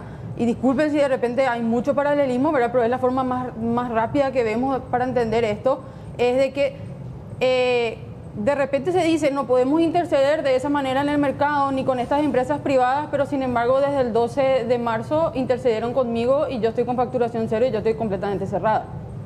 O sea, conmigo sí intercedieron y tomaron una decisión de cerrarle a mi rubro y de cerrarle a otros rubros, pero en una economía como la que estamos viviendo, en esta situación de crisis como la que estamos viviendo, supuestamente no hay fuerza para interceder y decir, bueno señores, este año nadie gana y todos sobrevivimos o, o la mayoría sobrevivimos, ¿verdad? Porque hay también una realidad que nosotros no decimos flexibilización para que los créditos se empiecen a repartir como si Claro. fueran por oro, ¿verdad? La, analogía que haces es, ellos dicen desde el Estado, del Ejecutivo, yo no puedo interferir en la banca privada, yo no puedo bajar línea, pero, digo- sí yo puedo cerrarte a vos tu negocio.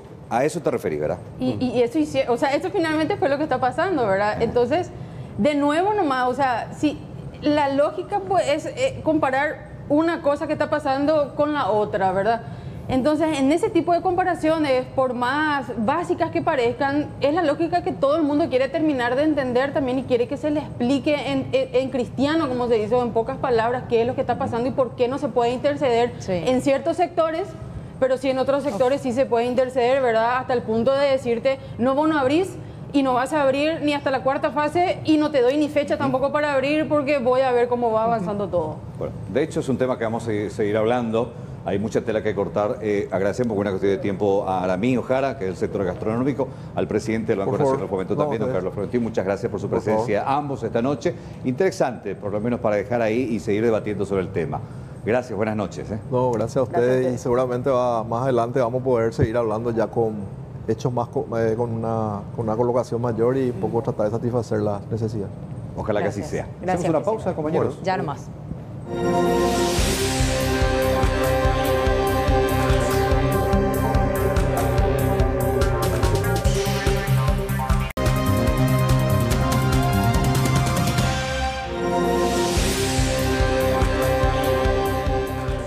Bueno, 20 20 con 20 en la República del Paraguay y nos gustaría seguir debatiendo sobre el tema de los privilegios. Evidentemente, ante esta situación de estos más de 50 días de confinamiento, de parar las actividades económicas, es- va saltando situaciones que tienen que ver con los privilegios de algunos sectores.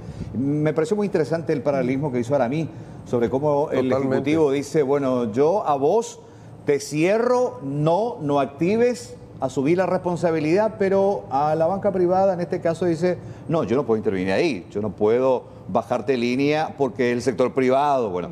Y ese mismo paralelismo está ocurriendo también con el tema de los juegos de azar, porque eh, escuché eh, esta semana la promoción de la quiniela, por ejemplo, No, que ya, hoy. está ya está hoy. Está Desde activo. hoy ya empezó Sí. a, empezaron a, levantarse apuestas. sí. Para cinco sorteos. Esos Acomodé el subieron los sorteos, porque de hecho que antes se hacían tres por día, Sí. matutino, vespertino y nocturno, y ahora ya son cinco. Son cinco. Y uno se imaginaría que, bueno, los trabajadores tienen alguna mínima protección. No, ni siquiera eso. Se manifestaron, a ver si compartimos un poco la imagen que compartimos aquí con la producción, buscando precisamente eh, mayores condiciones. Pero acá el tema es eh, igualdad para, no- para todos, ¿no? Si lo- los propios quinieleros salen bajo el régimen de delivery, ¿por qué no existe el, el- el mismo sistema para todos? Bueno, a ver, acá lo que Conaxar, que es el ente regulador, habilitó a la apuesta de quiniela modo delivery, porque delivery pues, se, se permite. Es- ¿eh? Uno puede alzar así la apuesta. Es pero salud pública, Carlos, perdón, la que estableció la figura de el delivery. Sí. De esa palabra, y creo que es un abuso el sentido de la palabra, Se cuelgan muchos. se cuelgan mucho Sí. y habilitan la quiniela. Pero, ¿cómo puede ser que Conaxar, que es el ente rector de los juegos de azar, no le diga a la quiniela o a cualquier otro explotador de juegos de azar, señor, usted no puede? Pero en este caso habilitó a uno. Uno. Hay varios sistemas de juegos de azar, televisivos, ¿eh? Eh, pero al único que hoy está habilitado por el ente regulador es la quiniela. ¿Qué pasa con el resto? Trato nomás hacer el paralelismo con el Así tema de los privilegiados. Está bien la cuestión de delivery. Bueno, hay cuestiones sanitarias, los vendedores ambulantes, pero eh, precisamente todos acá los jugadores, haciendo el paralelismo que hace el ministro de Salud también, el tema de lo- del fútbol, bueno, todos quieren también igualdad de condiciones y, esta- entrar a la cancha. Esta, Carlos, es una evidencia, ¿no? Ellos se manifiestan, bueno, por un problema interno de que la empresa en cuestión no les provee de la protección, les exige salir fuerza, compañeros, hay que salir a trabajar. Estos son quinieleros. Exactamente, pero sin la más mínima protección. Por eso esto, esta manifestación se daba en el centro de Asunción. Y ahora se pide una postura ya definida a la CONAXAR. ¿Qué pasa con el tema de los juegos en calle finalmente? Porque el espíritu, por lo menos de este negocio, es ofrecer este tipo de apuestas en la calle, así como el resto y en una competencia ideal para todos. Así como esta gente, perdón, sale a levantar apuestas, el- los juegos de, de los, eh, de las apuestas vía televisión, Sí. también la- los cartones son vendidos por el vendedor de diarios El supermercado que está en abierto. supermercados. Sí. En las si lo puede levantar o también los de forma electrónica. Levantadores de quinielas Sí, también venden. puede levantar una forma electrónica. Exactamente, puede jugar de manera electrónica. Claro, pero claro, el tema, ahí me parece el tema del delivery. ¿Por qué le habilitas a una empresa que haga su apuesta o levante su apuesta a través del delivery, que es un- el ropaje legal que le dan, pero al resto que también pueda hacer de la misma manera, levantar las apuestas, no lo hace? En sentido, ¿por qué el privilegio? Trato de entenderlo Cinco más, ¿eh? sorteos por día, ¿no les parece mucho? Es muchísimo. Claro. Hay otros, otros sistemas de juego que tampoco fueron habilitados y es por eso y hablando de privilegios, porque estamos hablando de las maquinitas que muchas veces, bueno, están habilitados en algunos municipios. Eso tampoco se puede, se puede utilizar en este momento, sin embargo, de manera unilateral hay una sola empresa que sí puede estar trabajando en este momento. José Ortiz, presidente de Conaxar, ¿cómo le va? Buenas noches. Sí, muy buenas noches, Carlos. Bueno, un gusto, gracias por, eh, justo estábamos hablando, te, te recordamos acá y queríamos entender un poquitito esta situación que tiene con la habilitación de los juegos de azar. Vimos que ya la quiniela está operando activamente, ¿es así, presidente? Mira, Carlos, eh, antes que nada, yo quisiera aclarar, eh, la CONAXAR como ente regulador no, no impartió ninguna prohibición y, por- y posterior habilitación como CONAXAR. Lo que nosotros estamos es, eh, o todos los concesionarios de la CONAXAR, eh, lo que están haciendo es acatar una medida sanitaria impartida por el Ministerio de Salud Pública. Nosotros como ente regulador no prohibimos y no habilitamos en este momento porque el, el- el- el órgano encargado es eh, exclusivamente el Ministerio de Salud. ¿verdad? Pero la gente de la Quiniela estaba anunciando con bombo y platillo que a partir del 6 estaban con cinco sorteos habilitados por la gente con Axar. No, no, no. Por favor, yo vuelvo a repetir, no están habilitados por la CONAXAR. Es decir, eh, cuando surgió la medida, eh, la medida sanitaria, Sí.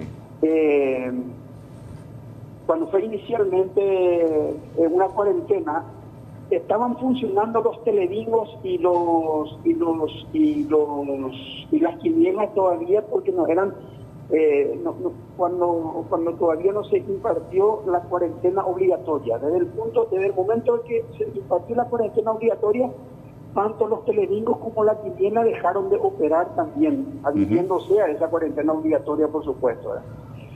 La cuarentena obligatoria se está levantando ahora con una cuarentena inteligente, aparentemente, con- que tiene cuatro fases. Una- Sí. la- eh, que se habilitó la primera fase. En la primera fase hay algunas, algunos conceptos que están siendo eh, utilizados probablemente por, por, por- por- por un operador en este caso, ¿verdad? Pero previamente a esto hicieron una consulta ellos a través de la CONAXAR al Ministerio de Salud Pública y Militar, incluyendo los televingos, los no televingos y la quiniela. Nosotros como ente regulador lo que hicimos es trasladar la consulta al Ministerio de Salud Pública si es que algunas de esas modalidades ya podrían estar incluidas dentro de esa fase 1. Y todavía nosotros no tenemos ninguna respuesta oficial del Ministerio de Salud Pública. ¿Y cuál es entonces la postura de la CONAXAR? Al no tener una respuesta, ¿ustedes pueden a sus asociados y a sus regulados de alguna manera insistir para que se siga cumpliendo entonces esta cuarentena que para ellos todavía no ingresan fase 1? Claro, y por eso, por eso que estamos, por eso que estamos esperando el el- la respuesta del Ministerio de Salud Pública para decirle si están o si no están. Si no están, nosotros sí vamos a, a- por supuesto, vamos a, a- entrar a regular porque hay una medida que dice no están. Pero mientras ustedes esperan ese dictamen de salud pública, algunos ya están levantando apuestas y otros, eh, otras empresas dedicadas también a juegos de azar no lo pueden hacer. Bueno, por eso te vuelvo a decir, eh, eh, yo no sé si, Aníbal, Sí, señor. Aníbal, eh, bueno, por eso te vuelvo a decir, es una interpretación que están haciendo, están haciendo en función a lo que decía la fase 1, en función a lo que dice la fase 1. Y, y- y nosotros lo que estamos pidiendo es una aclaratoria al Ministerio de Salud Pública si es que corresponde o no corresponde. Y mientras tanto, eh, ellos pueden continuar o la CONAXAR puede bajar línea al respecto como ente regulador, presidente.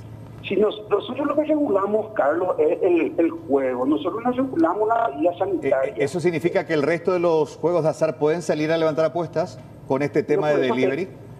Por eso te digo, nosotros lo que regulamos es el juego. Ajá. Si es que la gente, si es que la gente, como, como dice, se reinventa y hace, bueno, yo, yo creo que eh, es una, una cuestión de que definitivamente tiene que decir el Ministerio de Salud Pública si es que eso corresponde o no corresponde, ¿verdad? Presidente, si, se, si el Ministerio de Salud dice no está permitido porque no corresponde en fase 1, ¿cómo se va a actuar con esta empresa entonces? ¿Se va a sancionarla?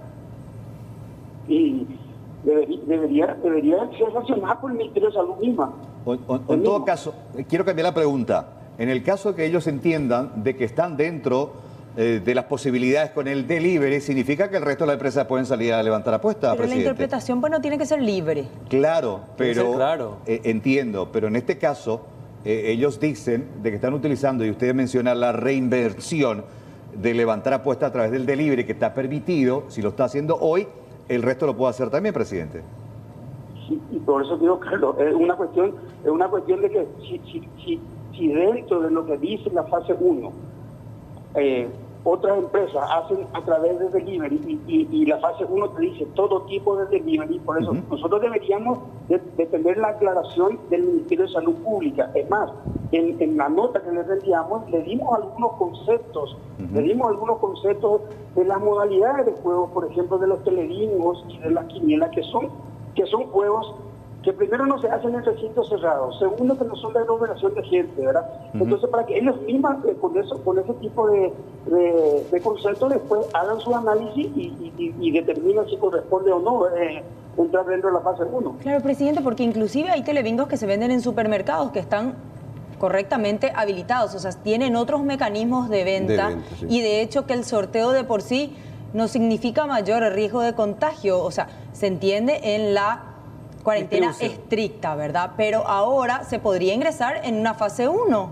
Exactamente, exactamente, ese, esa- eso, mismo, eso mismo manifestamos también en la nota, justamente, ¿verdad? De que podrían, de, de que, de que le, le dimos esos mismos elementos que manifestaste recién, Mercedes, al respecto que ellos puedan hacer su análisis, finalmente determinar si corresponde o no. Presidente, si eh, hay dos empresas del mismo rubro, o sea, varias empresas pre- del mismo rubro, pero solo una sigue operando, ¿existe un privilegio y una ventaja por encima de las demás?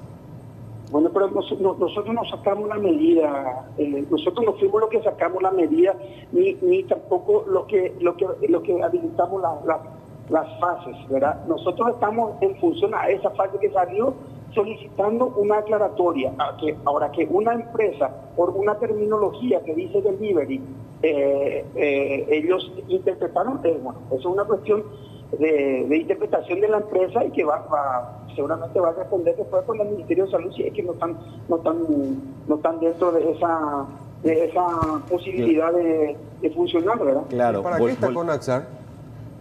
La CONALSAR está. La CONALSAR es el ente regulador, pero del, del juego. No, en, en este caso no es, no, es- tenemos que partir, no estamos regulando el juego, estamos regulando la actividad en sí, si es que esa actividad está dentro o no de la posibilidad de las medidas sanitarias. Sí. Claro, eh, el rey, repito, reitero y retomo tu palabra, la reinvención. La reinvención aparece de delivery. Acá ustedes quieren aclarar de que Conaxar no habilitó ni tampoco censuró a nadie. Bueno, Libre albedrío y acá el ente regulador es el Ministerio de Salud. Significa que las otras empresas... Entonces los bingos televisados también pueden, Pueden hacer salir a uso de esa palabra delivery y salir a vender también a través de los quinieleros, vendedores de diarios o de los mismos supermercados sus cartones. Bueno, pero, eso tiene que ver, pero eso tiene que ver, presidente, con el espíritu y también la habilitación de cada tipo de juego de azar. O sea, ellos realmente con tanta facilidad pueden reinventarse o eso afecta la habilitación de la naturaleza propia de cada juego. No, te- justamente, no, tiene, tiene, tiene que ver mucho la naturaleza de cada juego, Mercedes. Mira, yo te puedo, te puedo decir, los casinos, por ejemplo, los casinos eh, están también con una situación eh, apremiante porque ellos tienen, tienen eh, así como todos, tienen personales, tienen costos costos costos fijos y, y- y ellos no están, por ejemplo, dentro de esta fase 1 y tampoco inclusive no están dentro de la fase 2, inclusive hasta ahora. Y tampoco se pueden reinventar demasiado, presidente. Perdón. Y tampoco se pueden reinventar demasiado. No, y tampoco, y tampoco, eso es lo que te digo, tampoco, no, por eso digo, no es que, no es que, no es que, no es que así tan fácilmente uno se pueda reinventar, así como, como se manifiesta, ¿verdad? Pero, pero en, el caso particular de, de esta, de esta empresa, y inclusive de los televingos, eh, cuando se inició la cuarentena, ellos, eh, ellos tenían la posibilidad todavía de, de- de seguir operando porque no tenían eh, eh, como el, el factor presencial en su, en su modalidad de juego, ¿verdad? No, tenía el factor presencial. Entonces, en este, eh, y después cuando se hizo la cuarentena obligatoria, tuvieron que suspender y adherirse a esa medida. Yo, yo creo que, yo creo que no, no, no- yo no veo por qué tiene que ser una sola empresa la que, te, que tenga posibilidad o no, ¿verdad? Claro, totalmente. Y presidente, ¿qué se sabe del dictamen? ¿Para cuándo, cuánto tiempo le dijeron que podría tardar un, un trámite como ese? Mira, yo te cuento, nosotros, eh, la cuarentena inteligente se lanzó, se, se lanzó creo que el, el miércoles jueves de la semana pasada. El mismo día jueves nosotros recibimos, recibimos las, las notas de la empresa haciendo la consulta a la, CONASAR y a través de nuestro Ministerio de Salud Pública, jueves. Ese mismo día jueves nosotros a la tarde, vía correo electrónico, remitimos al Ministerio de Salud, porque viernes fue feriado, fin de semana. El lunes nosotros estamos haciéndole el seguimiento a eso y yo creo que el Ministerio de Salud estará también eh, sobrepasado en su, carga de trabajo, pero sí, la- lo último que sabemos que está a instancia del gabinete del ministro, nosotros de contestar esta, nota, esta consulta. Bueno, presidente, queríamos agradecer esta aclaratoria. Entonces, lo Conaxar no censuró ni habilitó a nadie. El libre albedrío, dependiendo de salud pública, acá la reinvención, significa que el resto del- de, de este negocio puede salir bajo esa, de ese rótulo de delivery, ¿no? Carlos, te vuelvo a repetir, eh, no, no, el, el, delivery pues, no es, no, es eh, no, no, se especificó el delivery para qué tipo. Eh, claro, para, para todos. Eh, claro, yo estuve escuchando, no, no, eh, estuve escuchando creo que hace rato un comentario, no puede ser que el delivery esté permitido para comida y no el delivery para bebida, por ejemplo, ¿verdad? Entonces, eh, yo, yo, yo creo que la gente ve eso de acuerdo a lo que le conviene, por supuesto, y en un contexto mucho más amplio, ¿verdad? Bueno, presidente, muchas gracias, muy buenas noches, gracias por su tiempo. Por favor, cualquier cosa le orden. Dale, José Ortiz, presidente con AXAR. No le encuentro sentido al uso extensivo de la palabra. Claro, pero él dice, no, nosotros ni, ni sancionamos ni habilitamos. ¿Y para qué están los entes reguladores? Es la misma cosa que ERSAN, que es el regulador de los servicios de agua potable, ante denuncias de la, de la existencia de una aguatera ilegal. No puede hacer nada. Solicite un permiso de la... Del Ministerio de Salud. Y Ministerio consulte qué puede hacer con esa aguatera ilegal. Entonces acá fueron pillos. Se adelantaron Parece y... que vamos a... reco- El más vivo parece que va a ganar acá, ¿eh? Sí. Bueno. Bueno, vamos a cambiar de tema. Vamos a hablar nuevamente de Javier Alarcón, este El joven de fugado. 22 años que se había fugado de un albergue de Ciudad del Este, del Polideportivo de la Universi- Universidad Privada del Este. Ahí ya lo vemos en patrullera. En horas de la tarde había compartido intercambiado un par de notas de voz vía WhatsApp con algunos amigos. Les dijo que estaba en un maizal fumando un joy, un porrito de marihuana. Y su abogado, el doctor Dos Santos, junto con un concejal, anunciaban que lo iban a presentar mañana bien temprano en la comisaría José Domingo Campos y luego de ahí hasta Ciudad del Este ante los fiscales que dictaron la orden de búsqueda y localización. Sin embargo, fue detenido en un trabajo conjunto de la policía tanto de Juan de Oleari como de José Domingo Ocampos cuando se predisponía a abordar una balsa que lo llevara hasta Tembiaporá, de donde es oriundo de la compañía Caballería de este departamento. fuerte, ¿eh? Sí, no, no, suena fuerte. Él abandonó su cuarentena faltándole dos días para cumplir. Ese, ese como que tenés una condena y te faltan dos días para salir en libertad y huís y te jugás. Gran error. Como Iñigo castigo va a tener que tomar otra cuarentena nuevamente. Iñen Guajay de alegó. Y está Rodrigo Mancuello con más detalles de la aprehensión.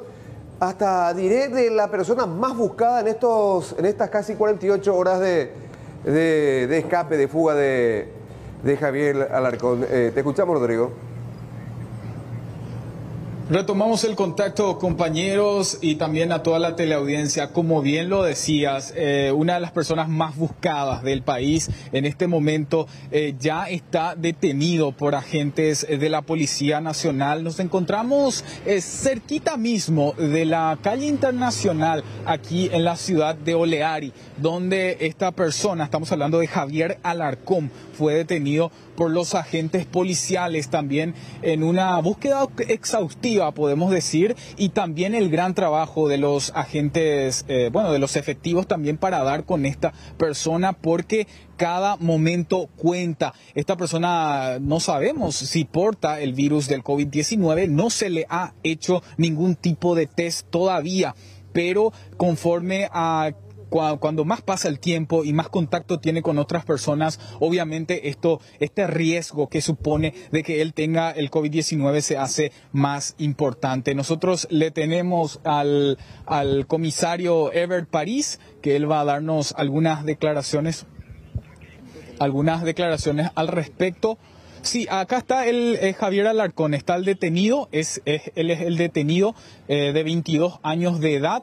Eh, recorrió eh, mucha, bueno, eh, se fue desde, desde Ciudad del Este, desde el albergue del kilómetro seis y medio hasta también eh, aquí en la ciudad de Oleari. Bueno, esta persona evidentemente ya está detenida, está detenida y bueno, podemos, podemos ver que esta persona está algo algo. Bueno, vamos a intentar hablar con él. Amigo, vos te querés defender. ¿Por qué escapaste del albergue? Que no me ha gustado sobrevivir. ¿Cómo? No me ha gustado sobrevivir como la manera que sobrevive la gente ahí. ¿No te gustaba sobrevivir? No me gustó cómo vive la gente ahí adentro. ¿Cómo vivían? Por eso. Pero vos sabías Pero vos, vos ¿cómo, cómo vivían ustedes? Y la verdad que faltaban muchas cosas para nosotros allá adentro. La verdad que creo que si una persona nomás tiene, una, si una persona tiene, dicen que va a apartar de nosotros y va a dejar allá, allá, allá adentro nomás todos juntos otra vez, ahí no van a contaminar a todos. No, eso a uno no. Pero a vos no te realizaron ningún tipo de test. ¿Por qué? ¿Por qué te fugaste? ¿Cuál fue el motivo por el cual vos dijiste yo me voy de acá? Porque tengo, tenía miedo de que me agarraran porque yo sabía que no tenía nada. ¿Cómo hizo para no escaparse? Y yo sé, man, porque yo ya... Sabe que no tiene. Yo me siento, no me siento ninguna cosa. Bueno, ¿y cómo, cómo hiciste para escaparte? ¿Te escapa- ¿Cómo, ¿Cómo fue para que te escapes? Dice que no te puedo explicar. ¿Te escapaste por eh, de parte eh, del lado de atrás del albergue, en ese boquete que está arriba? Sí, Por ahí te escapaste. sí. ¿Alguien le ayudó? Bueno, y agarraste. ¿Alguien te ayudó? ¿Te escapaste solo? Solo nomás que amigo me va a ayudar. Yo solo nomás. ¿Y después qué hiciste? ¿Agarraste un, un colectivo, un bus? ¿Cómo, cómo, ¿Cómo fue esa travesía para llegar hasta acá? A pie. ¿No agarraste ni un bus? No. ¿Te fuiste caminando desde Ciudad del Este hasta Juan, hasta acá, Oleari? Sí. Muchísimos No, son 100 kilómetros. kilómetros, imposible. En una noche y en un día llegué. No, caminando no va a llegar. Bueno. Pero vos, vos te- de, de, de, de dónde vos sos? ¿Vos, vos sos de Tembiaporá, tengo entendido. Tu familia de Tembiaporá. ¿Vos, vos quisiste ir hasta Tembiaporá? Sí. Hasta la casa de tus padres. Hasta la casa de mi madre. Pero vos sabías que te estaban buscando, ¿verdad? Sí. ¿Y qué le falta, Ya Rodrigo? sabía. ¿Por qué los otros no denuncian? Sí, yo sabía que me estaba buscando. Solo no me quería nomás dejarme que me agarraran. Eso no. ¿Qué, qué le faltaba a Rodrigo? Él no escucha, no puede escuchar si ¿De tiene altavoz. Sí, ¿de qué parte de, qué parte de Brasil vos viniste? ¿De dónde viniste? Río Grande. Río Grande do Sul. Sí. Sí, desde Río Grande del Sur me vine. Me fui a trabajar ahí Javier, después me vine. Javier, Sí. Rodrigo. eh, Javier nos escucha por eh, el altavoz del Ahora te teléfono. escucho. Sí, sí. Hola Javier, Batecopio. Tranquilo. Va, y que lo faltaba, pues, ve la albergue, allí de la ese caño, pues, güey. O faltaba cada día faltaba oye cambio de tapabocas cada día tempi o falta miedo más atendimiento que tengo doctor una cada día me ahora que tiene respuesta oye pía oye eu puedo mejor explicar ahora es para lo cota al otro día día el médico tiene que está más explicación Ah, cada vez, cada vez se rico pecarula en el día. Oye, vuelve la tembiu. va Cada día, oye, vuelve la tembiu. cada día cada cada cada hora Cuando la gente va a donde gusta, yo veo bien ese cañipio. da heja no tenemos una talla Ah, mi sí, sa, y la bordillo. sí A la médico cada día open de revisa. va La médico cada día open de endabe. Te hago esa la ecuación vaya con la izquierda viendo ya puedo ver que la manera la hora con la positivo to voy a jamo pues que vaya con la 15 ya a roña transmitir barete a lo mitad de pues ya puedo ir la mano. Ro algo con tati gea pa y lo lo mitad yo veo pues ya puedo ir la mano. Javier, ¿y vos no tenés, La 15 sí- vos no tenés síntomas? ¿Vos no tosés? ¿No tuviste fiebre? ¿Cómo te sentís? ¿Y cómo me ves? Te veo bien, pero no te veo tosiendo en este momento. Caminaste 100 kilómetros, no habrá sido fácil. Sí, bueno, ha sido fácil, pero me, me encuentro muy bien. Javier, ¿a dónde querías ir después del albergue?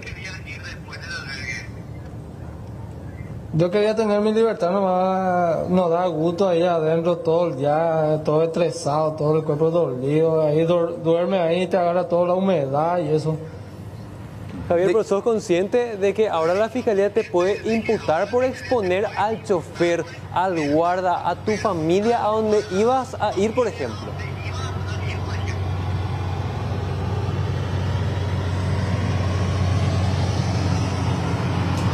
De ahí, compadre, día en Guajela, albergue, Javier. ¿Qué día llegaste?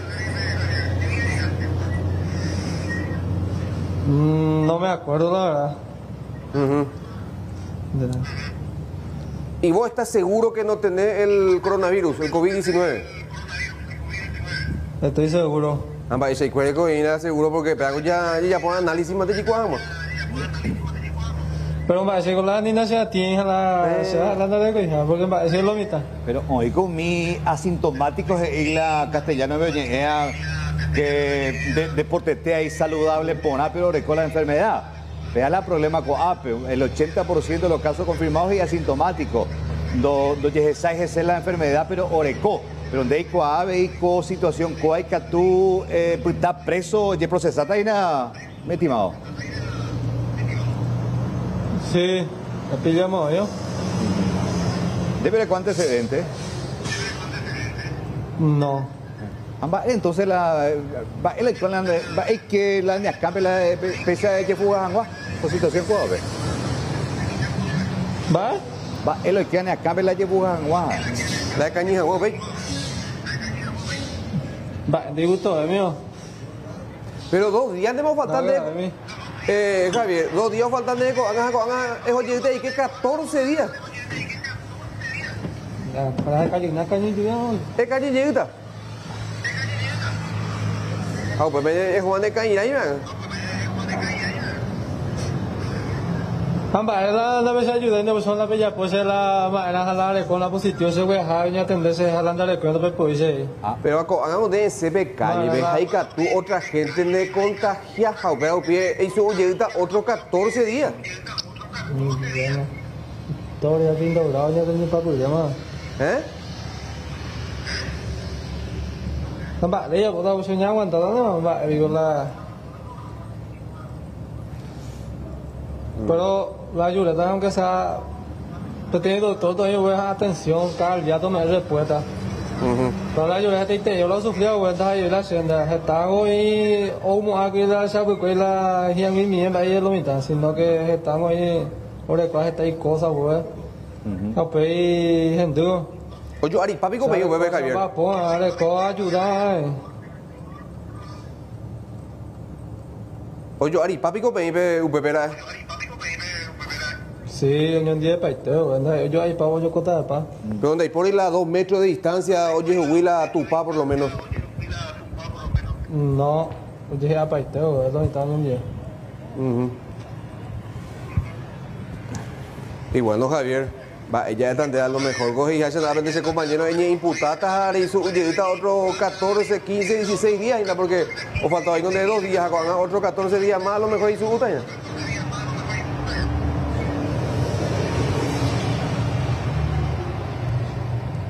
Y bueno, ya está Bueno, pensativo. El queso tiene evidentemente. Sí. ah. Pero bueno, evidentemente la, la dimensión. Gracias, Rodrigo. Un saludo, compañeros. Gra- También está acá el comisario. Dale. Sí, evidentemente no dimensiona la, la realidad eh, y la gravedad de este acto. Lo vemos bien, sin síntomas Sí. aparentes, sentados, posados en la carrocería de una patrullera. De hecho, que su situación está cada vez más complicada. Pero también, Mercedes, Carlos y eh, compañeros, en el tema de lo que él reclama, ¿no? También es bastante consciente de las condiciones en que tenía que estar, sabía que le faltaban solamente dos días, sabía evidentemente que exponía a más gente fugándose de esta forma. Y llama la atención, Juan, porque de hecho que él no es el único que está en el mismo refugio, en el mismo albergue, y no se conocen otras denuncias sobre esas condiciones de vida que él relata de manera exclusiva. Hasta ahora no conocemos otras denuncias, por más de que la mayoría cuenta con su teléfono celular en su lugar de albergue. Por eso también no es tan creíble su historia. ¿Qué dice el comisario? Bueno, vamos a hablar un poquito eh, con el comisario París. En estos momentos está hablando por teléfono, pero bueno, una de las personas que eh, lideró este operativo también para tratar de detener a estas personas desde tempranas horas, él estuvo ya también eh, indagando de dónde podría ser eh, el paradero de, esta persona, Javier Alarcón, que satisfactoriamente también ya está detenido por agentes poli, policiales. En estos momentos está hablando con, eh, bueno, con su superior, pero esa es, esa, esa es la noticia que tenemos hasta el momento, eh, compañeros. Javier Alarcón va a ser derivado también a la jefatura de policía del Alto Paraná, ubicada en Ciudad del Este, así que ya va a estar a cargo y a disposición también del Ministerio Público. Gracias, Rodrigo, muy amable.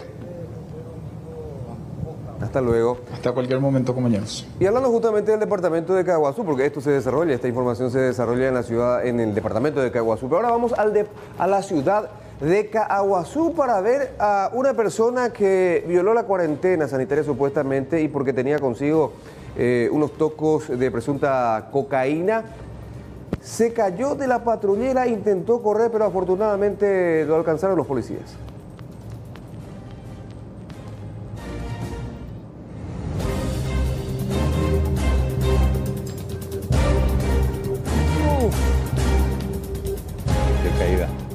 Sí, terrible. No te Qué caída, sí, no. Pero se, se cayeron los dos. Pero ¿eh? el policía Ese, es el momento en que lo detienen. Claro, pero el policía después de la caída se levantó y, lo- lo siguió y lo nuevamente. siguió. Es el momento de la aprehensión. Estaban parados ellos, Aníbal. Estaban sentados en esa Yo butaca presumo que ya improvisada venía- en la carrocería. Yo estimo que venía ya forcejeándose ahí y estaban sentados en la. ¿Cómo le dicen? En La banqueta, En la ajá. banqueta, no, pero ya en la parte muy atrás, donde uno aborda. El borde de la carrocería. En la carrocería ahí. Por la Sí. puerta. Sí. Sí. Pero se cayeron mal. Porque Sí. de espalda se fueron. Sí, de espalda. Sí. Y fíjense, fíjense, en ese giro ocurre eso cuando te sentás mal, ¿viste? y el policía afortunadamente no lleva No la le cabeza bajo la rueda. Y no le soltó a su detenido. Sí. Porque el detenido cae sobre él. Sí. Porque cae el policía y encima viene el detenido. Con vuelta de por medio lo volvió a, a prender. Y un malabarista. En, las esquinas de Caguazú, la ciudad de Caguazú, hace malabares para ganarse la vida. Ah, de profesión. Malabarista y ejerció efectivamente su, su oficio. Bueno, tenemos el informe.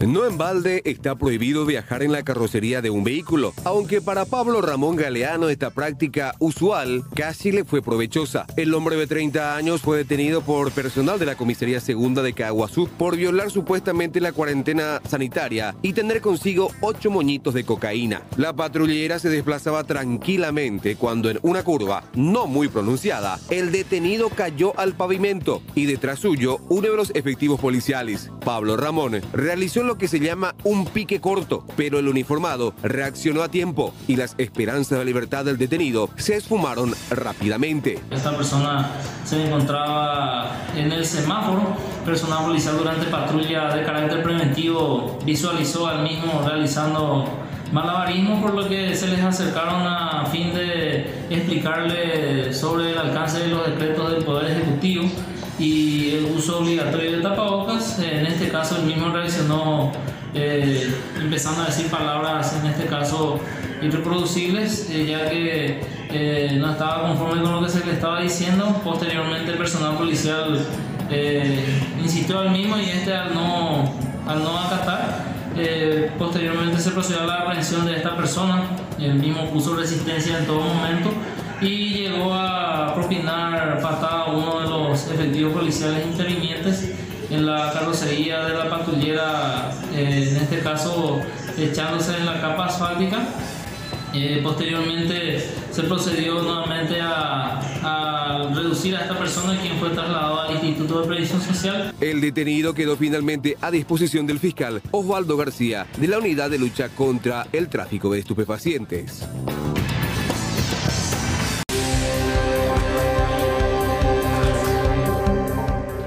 Ahora de la información internacional, del mundo de la música, Adele.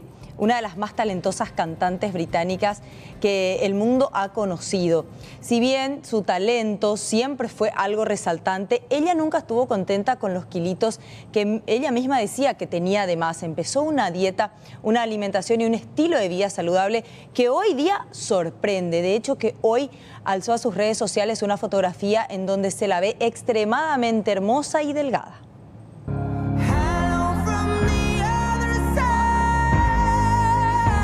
Después de una pausa en las redes sociales, Adele regresó a Instagram con una explosión. La creadora del éxito Hello, que no había publicado en la plataforma desde diciembre del año pasado, apareció ayer con una foto que acaparó todos los likes del mundo. La cantante encendió internet al compartir una foto para celebrar su cumpleaños número 32, usando un mini vestido negro con mangas onduladas, el pelo rubio con las ondas al agua de siempre y completó el look con un estileto negro que destacaba su buen físico.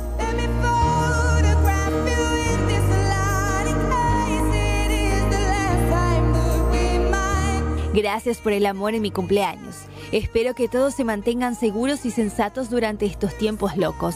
También me gustaría agradecer a nuestros socorristas y trabajadores esenciales que nos mantienen seguros mientras arriesgan sus vidas. Ustedes son verdaderamente nuestros héroes, dijo Adele a sus más de 33 millones de seguidores. El Instagram de Adele se vio inundado de elogios y mensajes de admiración por su cambio radical. Incluso varias celebridades aprovecharon su publicación para reiterarle lo hermosa que se vio siempre y todos estamos de acuerdo que flaca gorda y con ese talento único, Adele es y será siempre perfecta. Excelente. Bueno, 14 la temperatura a estas horas. Ojo para mañana. Fíjense, 6 grados la mínima. Pero si hay viento sur se va a sentir menos. 21 la máxima, cielo cubierto. Viernes también 6 la mínima, 24 la máxima, jornada fría. Abríguense. Para el sábado ya sube la mínima, 11 la máxima, 27 grados.